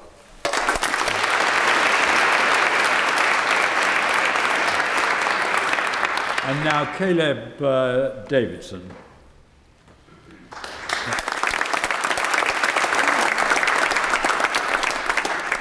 Thank you, Lord Speaker, fellow debaters. My name is Caleb Davidson and I'm from Broxburn Academy. So, using teamwork and climate change have been discussed a lot during this debate, and I feel there are a few inherent problems with the views of perspectives 1 and 2. With regard to perspective 1, well, one does not simply solve the world's problems. Let's take the example of the Paris Agreement. This is a very relevant recent instance in which the UK has worked closely with other countries from around the globe to try and achieve not only a regional aim, but a global aim. This teamwork is wonderful in theory, but quite frankly, it hasn't achieved anything at all. In fact, we're still producing a large quantity of carbon emissions, and we're on track to actually produce a greater quantity than we were before the agreement was signed. Now, concerning perspective two, once again using the Paris Agreement as an example, we can see that global leaders don't really have much influence over anyone. The US, one of the world's leaderiest leaders, recently pulled out of the agreement, and they have been condemned for it. No other country has followed suit, and in fact, even their own people don't agree with the decision. If a global leader like America holds such little sway over other countries, what hope does the UK have to influence anyone if we were to seek this leadership position? What's more, is it even possible for one country to be a global leader in this context? Look at China. They're a global leader turned babysitter to North Korea. But they have no power here, at least in this instance. They cannot stop North Korea throwing their toys out of the pram. But the issue is that the toys are missiles. And the pram is right next to South Korea and Japan. Thank you, ladies and gentlemen. Thank you very much. Now I'm going to go to the crossbenchers there because we, we, you've all been rather um, ignored up to now. So, lady there, who's yes, thank you. Thank you, Lord Speaker. My name is Amy McInerney and I'm from Archbishop Beck College in Liverpool. Now, I'm arguing against the point of global leadership. When we think of global leaders, we can always assume that we think of the United States of America. Now, from the picturesque view, we see a, a nation built, rich, powerful, but look behind that mask and that facade and you will see a nation built on the oppression of other minorities. Is it morally right to truly be a global leader when we as people have a history similar to those? The President of the United States of America who is ignorant and neglectful to its own history, is sitting in a house built by slaves that they stole from their countries. Sorry. Should we truly neglect our own history? Should we truly be a global leader when we as people already have hate crimes happening in our own streets? Should we be a model example for other um, less countries who are less economically developed as such, when there are still people who are being hated and killed for their religion or their race or their sexuality, for example? Should we or should we sort it? We, we already have a culture which is intervened with oppression. We think, I think we should sort it before we become a global leader. As we say, we may have things like the NHS, which is free, but until our ideology meets our technology, only then can we truly be a global leader. Law, as a really clever mind once said, we are living in space, stone, space age times with stone age minds. Thank you.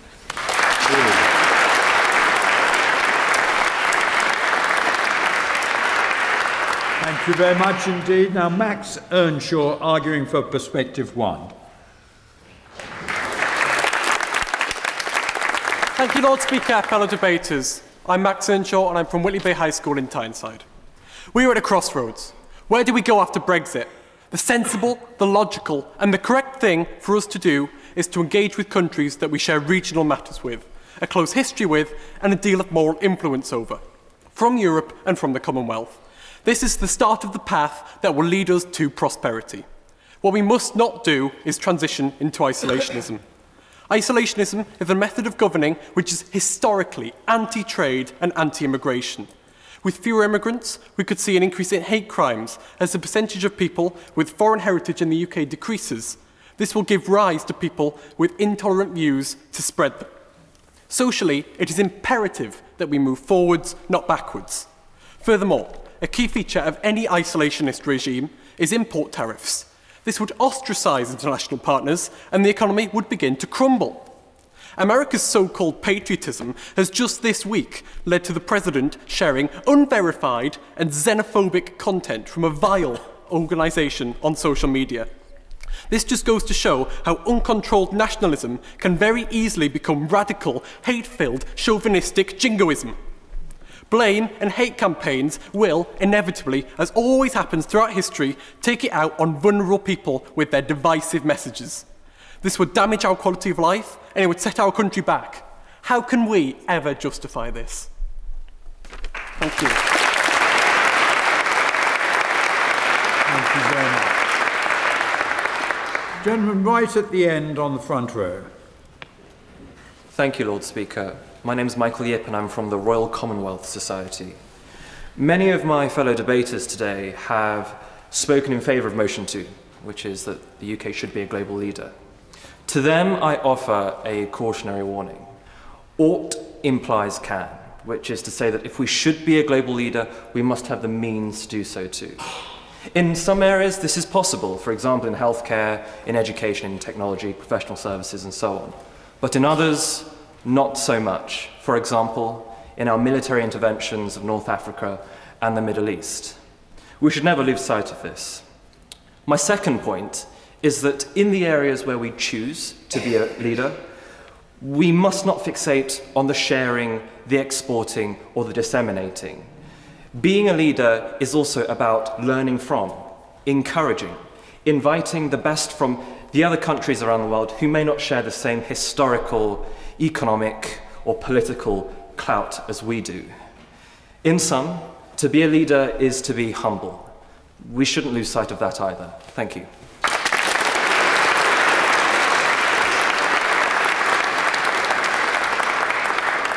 Uh, Karen, Karen Moran, um, thank you very much.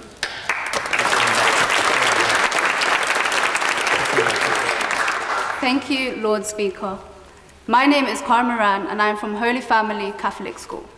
The UK should be a global leader as we are a significant performer on today's global stage and we have a vital opportunity to showcase the strengths of the UK.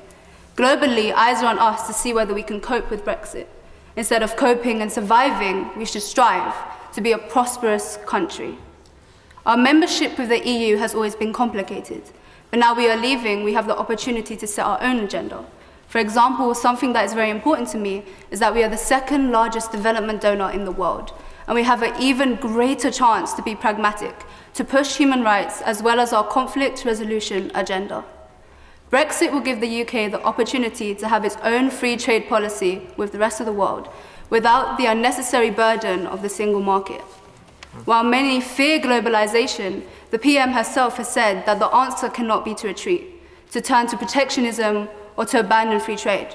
I agree and believe instead countries should work harder to ensure that everyone, including developing countries, utilize the opportunities given by Brexit. Britain, with a unique history, culture, networks, reinforced by a strong economy, can now have a new and truly international identity. As opposed to dwelling on whether we will leave or remain, we should deal with the issues at hand, grasp opportunities with both hands, and truly prosper. Thank you.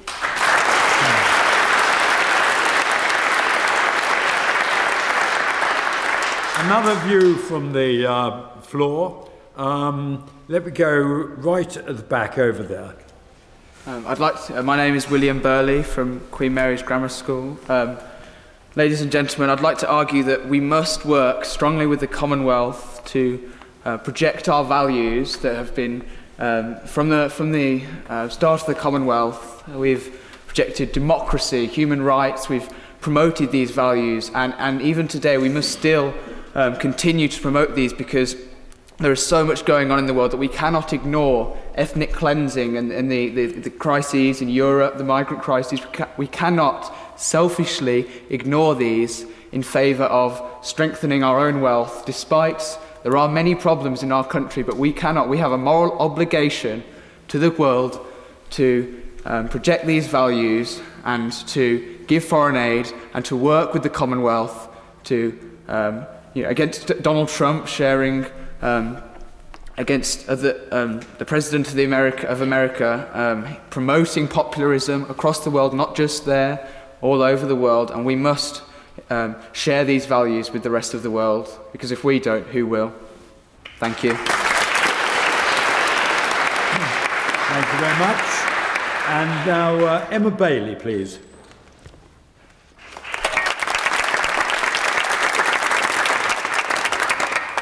Speaker, fellow debaters, in case of an in-flight emergency, please make sure all personal safety measures are carried out before assisting others. This surely should be the case for our own country. In 2015, the United Kingdom spent £12.1 billion on foreign aid. In June the following year, following the Brexit referendum, our country's economic position plummeted to its lowest point in 30 years. Just imagine how we could have spent this £12.1 billion. Pounds. Recently, the Chief Executive of the National Health Service delivered a speech citing the Leave campaign's pledge of £350 million pounds more a week to be spent solely on the NHS. The situation faced by the jewel of the British social fabric is appalling, and our government should be doing all they can to preserve the fragile beacon of our nation – We are clearly a country in crisis, so why on earth should we focus our attention on the rest of the world's affairs? It is paramount that we, as a country, should unify and protect the heart of this fine state. I am certain that you would all agree with me in the fact that the foundations of our own country should be our main priority. And as a famous doctor once said, help yourself before you consider helping others. You cannot give anything to anybody without having something to give. Thank you.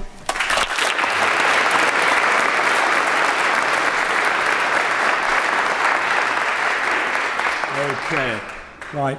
Um, I, I'll try and get, I'm not going to get everybody in, but I'll do my best. Um, the person there um, on the end, yes. No, this way, this way. Thank you. Hi everyone, I'm Solomon Elliott, I'm from Whitley Bay High School, and I'd like to say that contrary to the wishes of many of the MPs that have sat in these chairs and the Houses and the Commons, we do not live in a time of strength and stability. We live in a time of change and great disorder. Um, I'll use the example of Brexit and mass migration that's going on in Europe now. More than ever, the Christian world and the Muslim world are clashing. Sorry, I'm just trying to clarify my point. Christian world are clashing. To, to, for these cultures to get along together, Britain needs to assimilate with these people because free movement allow, will allow a certain conflict that we can't we can't um, control just through EU regulations. We need to control immigration in order for us to solve the completely contradictory values of these two cultures. Um, by doing this, we act as, a, as an example of a leader to the rest of the world because instead of just pushing it away and not helping these people, we should come together, take the best from each of each other's cultures and accept and try and help others. We cannot do this by just simply accepting other cultures. We need to cooperate.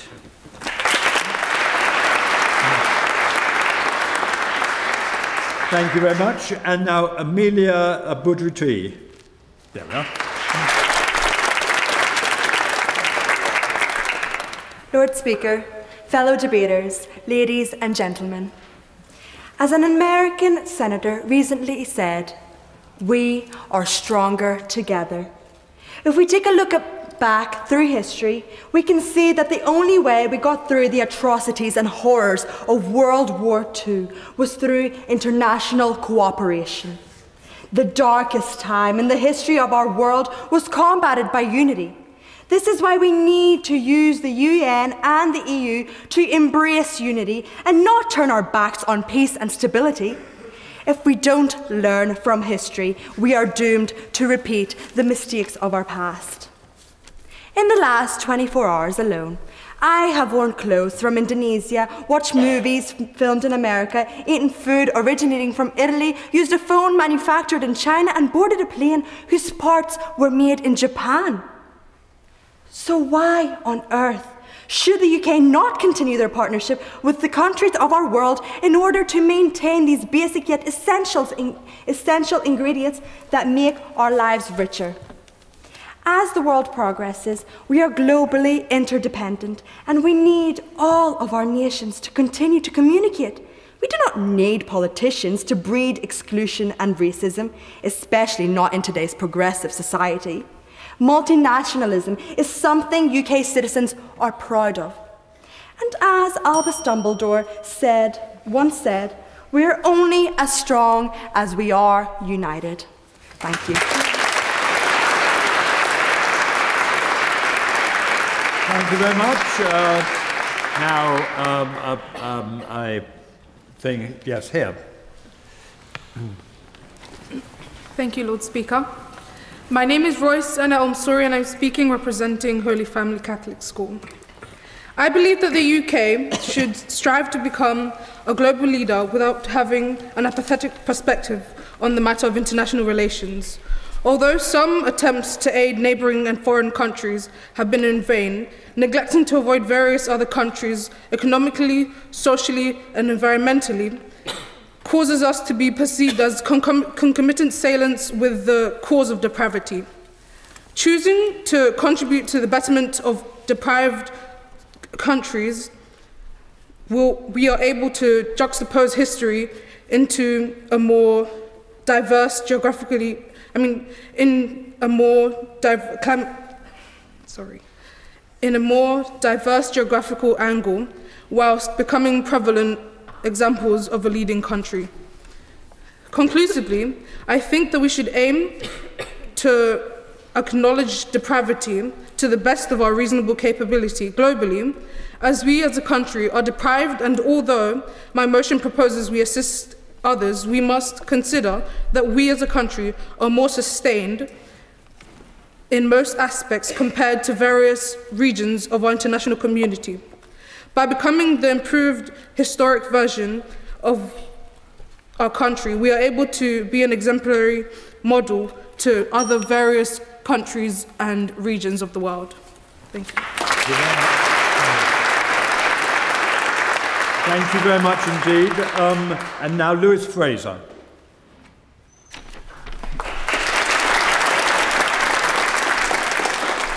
Thank you, Lord Speaker. My fellow debaters, the 20th century may have seen the sun finally set on the British Empire, but the 21st has seen a new dawn for the UK as a modern global pioneer. This is not so much a question of aiming to become a global leader, but recognizing and consolidating the influence that we already wield on the world stage.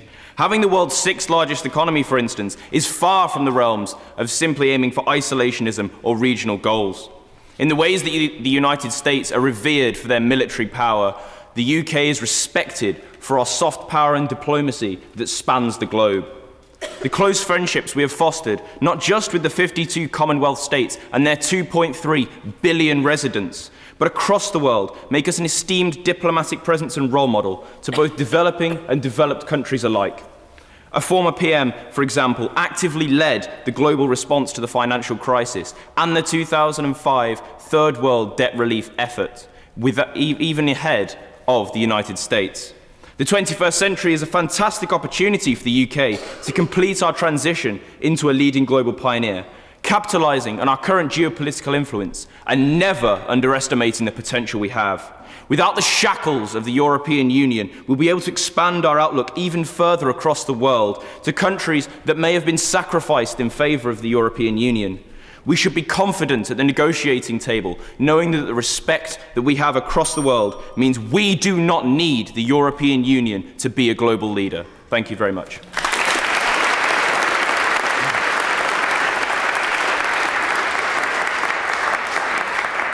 Okay, now uh, let's have the gentleman now.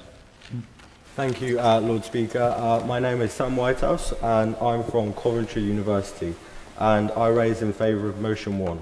Um, last Saturday was International Day for the Elimination of Violence Against Women, uh, a cause in which the UK government strongly support for its 2016 Women and Girls Strategy. This is just one area in which the UK can strive to achieve through cooperation with our European allies and Commonwealth family. No longer does the UK dominate and dictate global affairs, but nor should we turn our back on global injustices. The creation of international institutions such as the Commonwealth serve as a platform for dialogue and the need to build consensus. If the UK government is seriously committed to ending violence against women, then I suggest it does so by raising the issue at next year's Commonwealth Heads of Government meeting in London, chaired by the PM herself. For the Commonwealth is an organisation of 52, of 52 nations, spanning six continents, a population, half of whom are under 25. A key demographic are those are, are um, a key a demographic in which are um, uh, the most likely victims of gender-based violence. Therefore, I raise in favour of motion one. Thank you.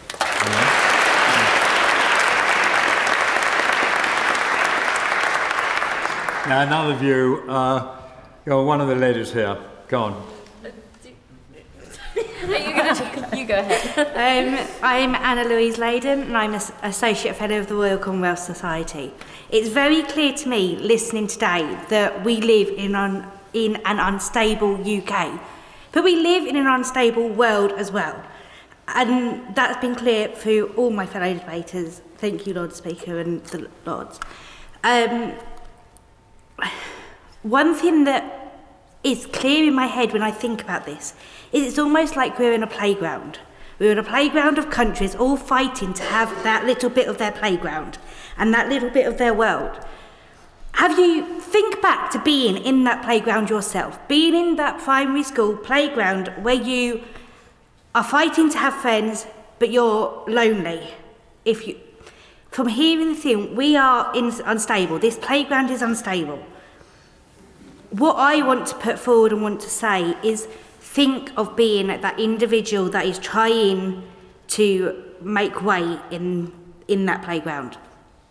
Listening to the UK, should we become global leaders? Should we fight our own problems? Should we think? Actually, I think the only way to make friends and to become part of that established playground is by working together with everyone else by listening to other people, by listening to other people's thoughts from wherever they are in that playground and learning to play and communicate together.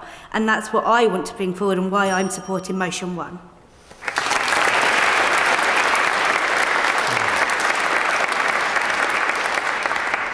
And I've got the last uh, speech from the floor. Well, as I've missed out the crossbenchers almost entirely, I will take the gentleman there. Good. Thank you, Lord Speaker. I am James Murray from Archbishop Beck Catholic Sports College in Liverpool. I would like to start with a quote by a great author. Some men are more equal than others. Is this true? Well, some people seem to think so. For if you say that the problems of people in Britain deserve precedence over the problems of people in other countries, you inherently imply that the people of Great Britain are more important than people of other countries. And, well, in a society where we want everyone to be equal, even implying this should be appalling. And so, the UK should aim to be a global leader in foreign aid, in helping other people, if in nothing else because this is something truly good, something we can all be, proud, be proud of. And this would be something that would make Britain truly great in helping other people who cannot help themselves. Thank you.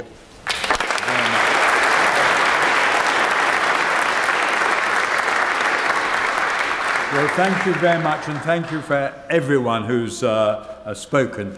Um, you, you run like uh, uh, an express train, and you come in absolutely on time, which is uh, something, again, that we're not totally used to uh, in the House of Lords. But thank you all very much for your contributions. Uh, and apologies for those who weren't called. I'm afraid those of us like uh, Lord Howell and, uh, and, and, others who are here will remember that in the House of Commons it is quite common to actually have a speech that you wish to make you wish to make it really forcefully and you're never called to actually make it at all. But you will find that there are other occasions when you can make it. Uh, that at any rate is uh, uh, our experience. So we now move on to the closing speeches, which are uh, to be again a maximum of three minutes per speaker. Uh, Christine again will be on bell ringing uh, duty. Once I've called on each speak speaker, do please clap just as you have before. And I'd now like to call upon Harrison Worley to summarise the case for Perspective One. The United Kingdom should aim to work closely with the Commonwealth, European countries, the European Union, and global partners to achieve common regional aims.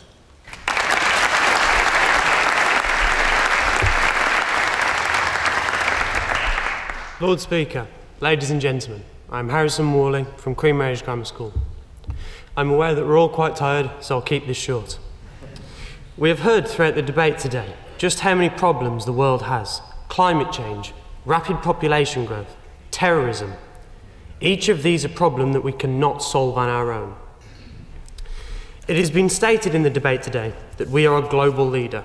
I ask you this would a global leader succumb to the demands of European countries in, I'm sorry to mention it, the Brexit negotiations? The prime and current example being the outrageous divorce bill, which we, being, which we are being forced to pay, rumoured to now be around £50 billion. However, despite not being a world superpower and not being able to compete with countries such as the USA, in terms of economic prowess and military might, we do foster extremely good relationships with these world superpowers and other countries around the world.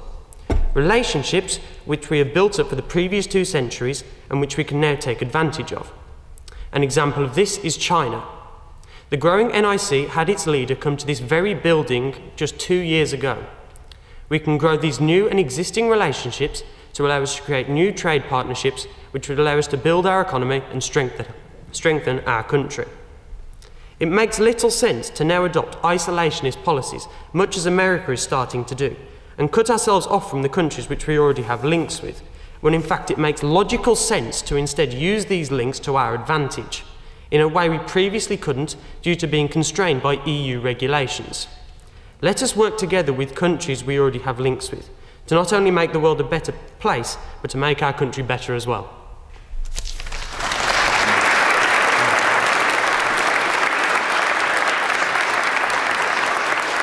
Thank you very much. And now I'd like to call upon Usman Ali to summarise the case for Perspective 2. The UK should aim to be a global leader.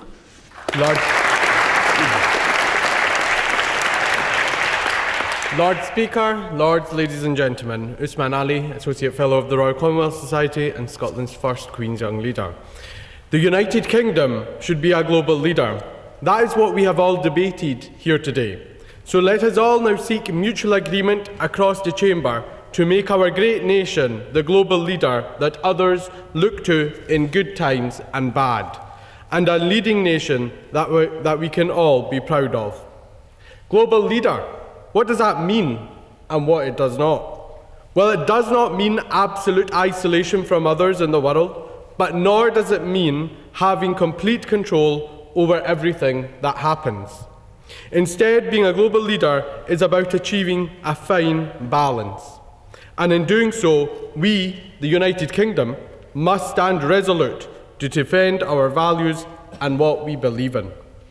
But it too must mean that we have to work together with other states and non governmental organisations to achieve common goals, all resolve common challenges. Lord Speaker, surely by working with others to achieve greater impact is what the United Kingdom believes in and what being a global leader is about. By taking this approach, we are not protecting but enhancing our national interest. For Lord Speaker, having the United Kingdom be a global leader is our national interest. Now, I'd like to uh, turn to the substantial points made in the course of this debate. We heard from the introductory speakers who talked about our values such as the rule of law and the Westminster model, which underpins so many parliamentary democracies across our world. We'd heard about our brilliant NHS, and we'd also heard about the foreign impact that we are making in terms of our AIDS budget and peacekeeping missions across the globe. But let me also turn to some of the issues raised by those who spoke in the debate from the floor. Let's be honest, Brit- the United Kingdom has made mistakes in the past, but this generation, the next generation, can lead the development of a new vision. We are leaders today and not just tomorrow. Our time is now, so let's take that time and deliver that new vision. Let's be outward looking, as well as looking at what kind of society and country we want to be. If we care for food banks in Edinburgh, Belfast, Cardiff, and London, then why should we not care about the food banks in Paris, Beirut, Nairobi, and Delhi? What kind of world would we be living in if everybody across the globe just turned in on themselves and didn't care about anyone else?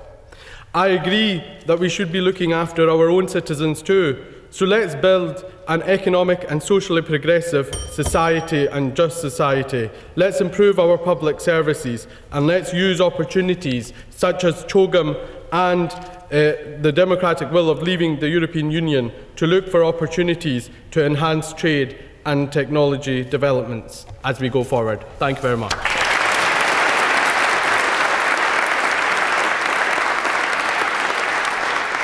Thank you very much again. And um, la- lastly, I'd like to call upon Sarah Gadalla to summarise the case for Perspective 3. the United Kingdom should keep the affairs of other countries at a distance and focus on its own problems. Sarah.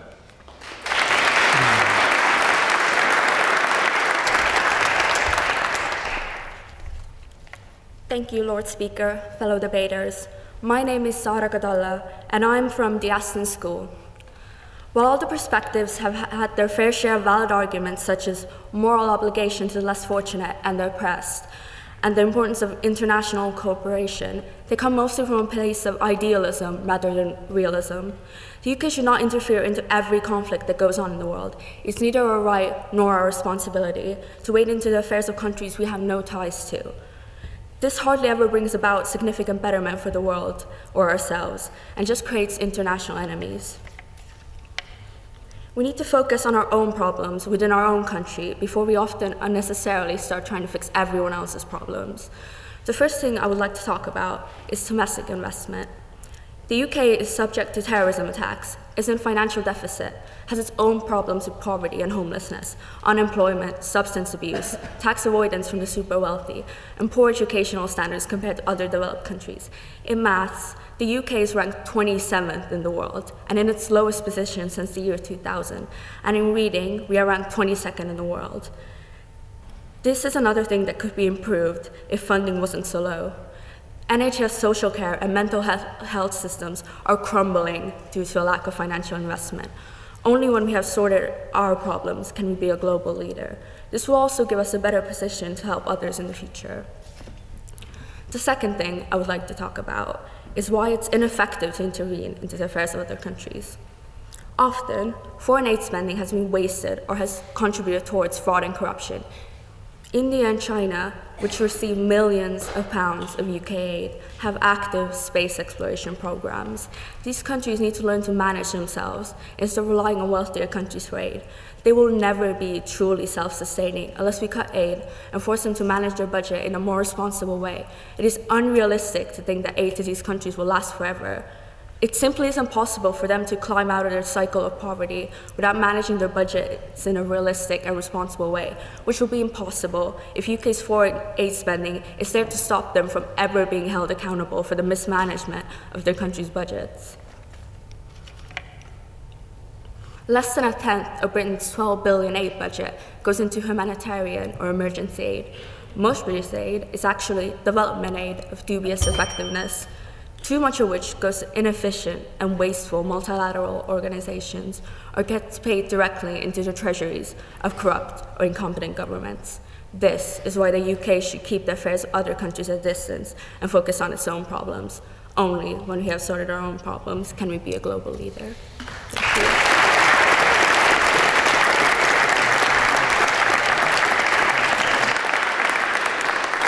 Thank you very much indeed. So, uh, I would like to first thank all the speakers, um, uh, everyone who's spoken today, either from the front benches or from around on the other benches, for what I think has been uh, an excellent debate and where I think all views have actually been uh, expressed and expressed extremely well. Uh, and again, I apologize for those many people who were excluded simply by uh, the confines of time as far as this debate um, is concerned. So we now move to the final vote. And as before, there will be three votes. And as before, you may vote only once.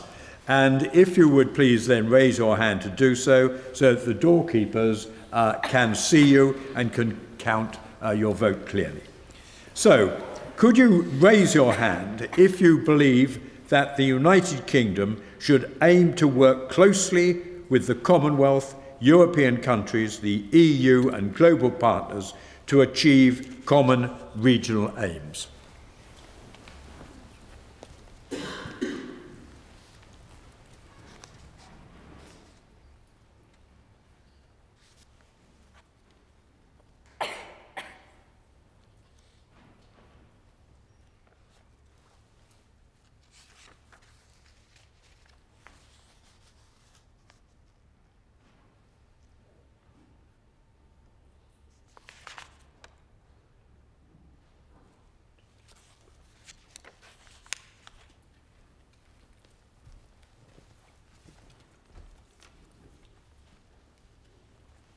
Thank you very much, Simon.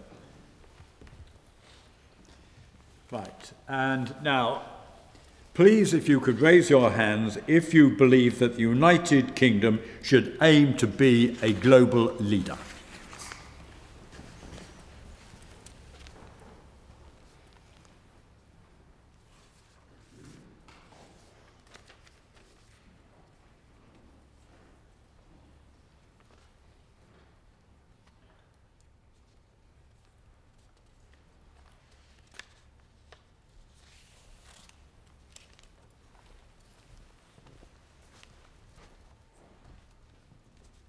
And lastly, uh, and finally, please raise your hands if you believe the UK should keep the affairs of other countries at a distance and focus on its own problems.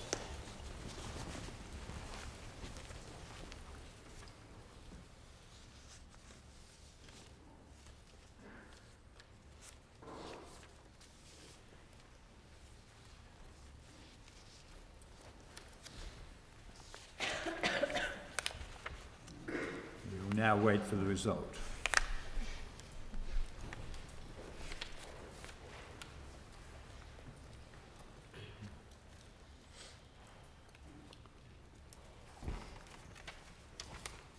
Thank you very much indeed. So, uh, the uh, result um, is this. For vote one, there were 113 votes, which is down nine uh, from the original vote before the debate, but 113. The vote, the second vote um, uh, for vote two um, was 43, and that was up six, that's global leader. And then the last one was uh, 21, and that was up nine, so 21 uh, votes there. So those are the uh, final results, and I thank you very much uh, for those. And it obviously shows that the debate had uh, some effect, at any rate, and some impact uh, upon your uh, uh, views and upon your votes.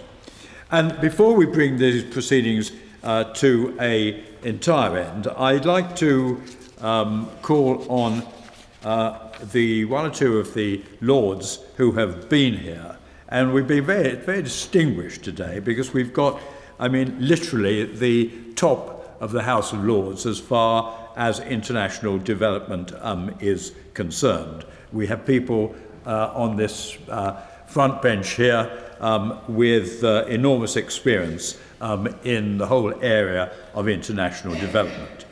And so, first, I'm going to call upon Lord Howell of Guildford. We've worked together for many years in, uh, uh, in the 1980s in Cabinet, and he is now chairman of the new International Relations Committee uh, in the House of Lords. David.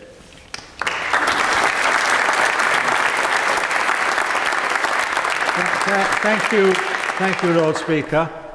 Many positive speeches, uh, a marvellous emphasis which pleases me on the Commonwealth Network, uh, and not too much on Brexit, which is a relief because we spent a great too much time on that. And of course, a very heavy emphasis from almost every speaker on the need to cooperate internationally. You can argue how you should do it, what procedures you should go through, but everyone is rightly saying to meet the colossal challenges of the world, we have to be part of the network. And I emphasize network because I'm a bit with those who say we can't just walk out into the show and say, we're the boss, follow us, be the leader. We have to walk out and say, this is our example. This is what we've done in the past. This is what we can do by helping you. This is the way we can join the great networks of the future, which remember increasingly are going to be dominated not by Europe and the West, but increasingly by Asia and China and the rising powers of Asia, Africa, and Latin America. That's a new world. the Commonwealth can help us enter that world, and I must say the speeches have been really wonderful in pointing, giving me the confidence that your generation understand that point, and if we work on it, we can do very great things in, from this country to help the world to move to greater stability and be a better place. Thank you very much.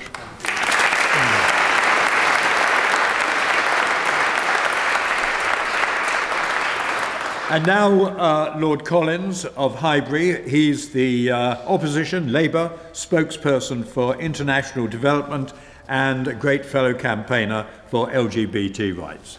Thank you. Thank you, Lord Speaker. I, I, I must admit, from the quality of this debate, I've never felt so intimidated, actually, in speaking in this chamber. You've been fantastic and enjoyable. And if you noticed, we didn't fall asleep once, did we?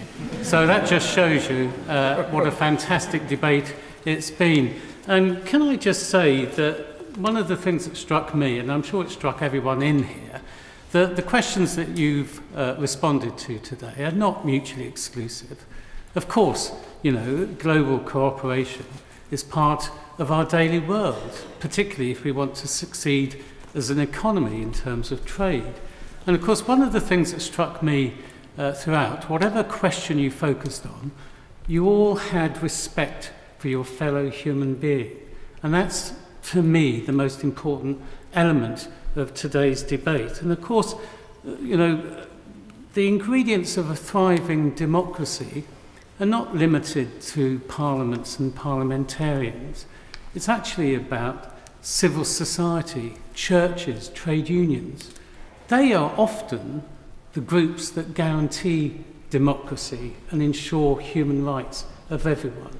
So whatever you end up doing in the future, always remain engaged because the key to changing the world and what our development work is so specialist about is not about helping people, it's not about giving to people, it's actually about ensuring that we empower the powerless. Thank you.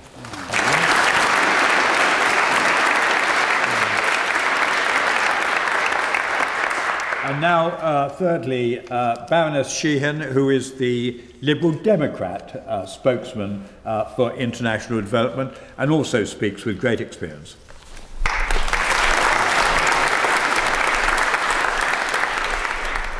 Thank you all very much. And can I add my congratulations to those of Lord Collins, to every single speaker who had the courage to stand up and speak with conviction.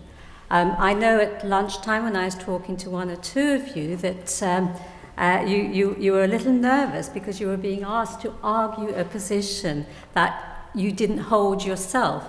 And yet I could not spot which of you it was. You argued your position with such conviction. So well done. Congratulations indeed. Um, the debate today took me back two years when I made my maiden speech um, from the Liberal Democrat benches just across there. And my speech was made just after the Paris COP21 agreement, climate change agreement, uh, was made. And uh, it was something that was very close to my heart, and I know from a number of you it was very close to your hearts also. And the thrust of my speech was that um, climate change was so important because it was causing a lot of the problems that were leading to the refugee crisis that we were beginning to see then. We hadn't seen the full force of it. Alan Kurdi's little body hadn't been washed up in the beach in Turkey at that point. And, uh, but it was very clear to me that climate change was contributing to the largest mass movement of people that we've seen in Europe since the Second World War. And um, so I'm, that took me back a few years. Um, it is, as so many of you said, it is so important that Britain stays in the global arena and shapes the response to global issues that don't respect borders such as immigration, refugee movements, terrorism, climate change and air pollution. And uh, thank you very much for bringing that to our attention again.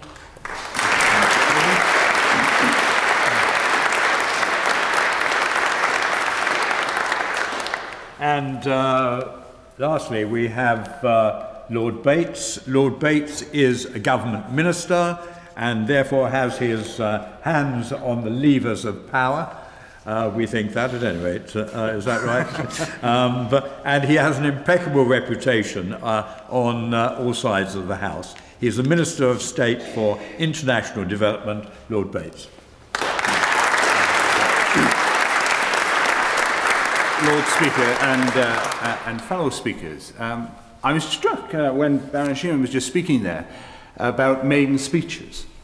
And I wondered how many maiden speeches I was listening to today. How many in 10, 20, 30, 40 years' time, 50 years' time, if you come into the House of Lords, possibly even 60 years' time, we might actually hear again in this place. And I found it an absolutely inspiring time. I must admit, I spent more time uh, taking notes of what you were saying than making notes of what I was supposed to say. So I'm not going to be uh, long. But suffice to say this that, first of all, two things. Number one is I'm an optimist about the world. I actually believe the world is getting better. Uh, contrary to what you see in many places, the efforts that we're making to eliminate disease around the world, the increase in the number of people who are getting the opportunity of an education is incredible. Uh, the way that we're breaking down barriers, particularly on gender discrimination around the world, is, is amazing. The way that economic growth is going, a billion people lifted out of poverty so far this year. I think there are reasons to be optimistic uh, about the world as we face. The final thing I'd say to you is that in Parliament, in both houses, it's said there are only really two types of people who are here. There are those people who want to be here because they want to be something, and those people who want to be here because they want to do something.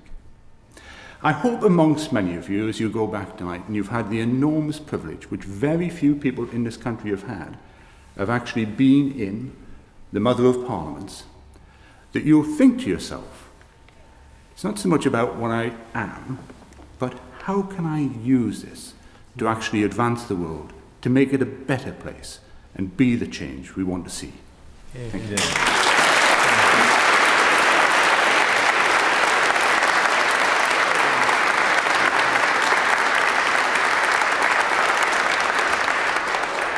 And I think you show by your response how uh, much those words go home.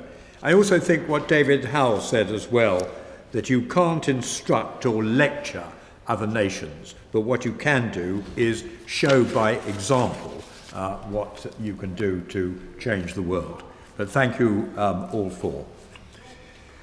So, the majority of you here today think that the United Kingdom should aim to work closely with the Commonwealth, European countries, the European Union, and global partners to achieve common regional aims. And in spite of the uh, arguments put against it, it was carried with a, a majority that uh, all parties would be perfectly happy with to, uh, to, to arrive at at any election. Thank you so much for your uh, contributions and participation. You've done uh, a wonderful job and you should feel proud of yourselves and what you achieved today. And I'm, for one, am very impressed with the arguments and the way that you have put it. For those of you who've shared personal experiences, again, I thank you uh, for your honesty.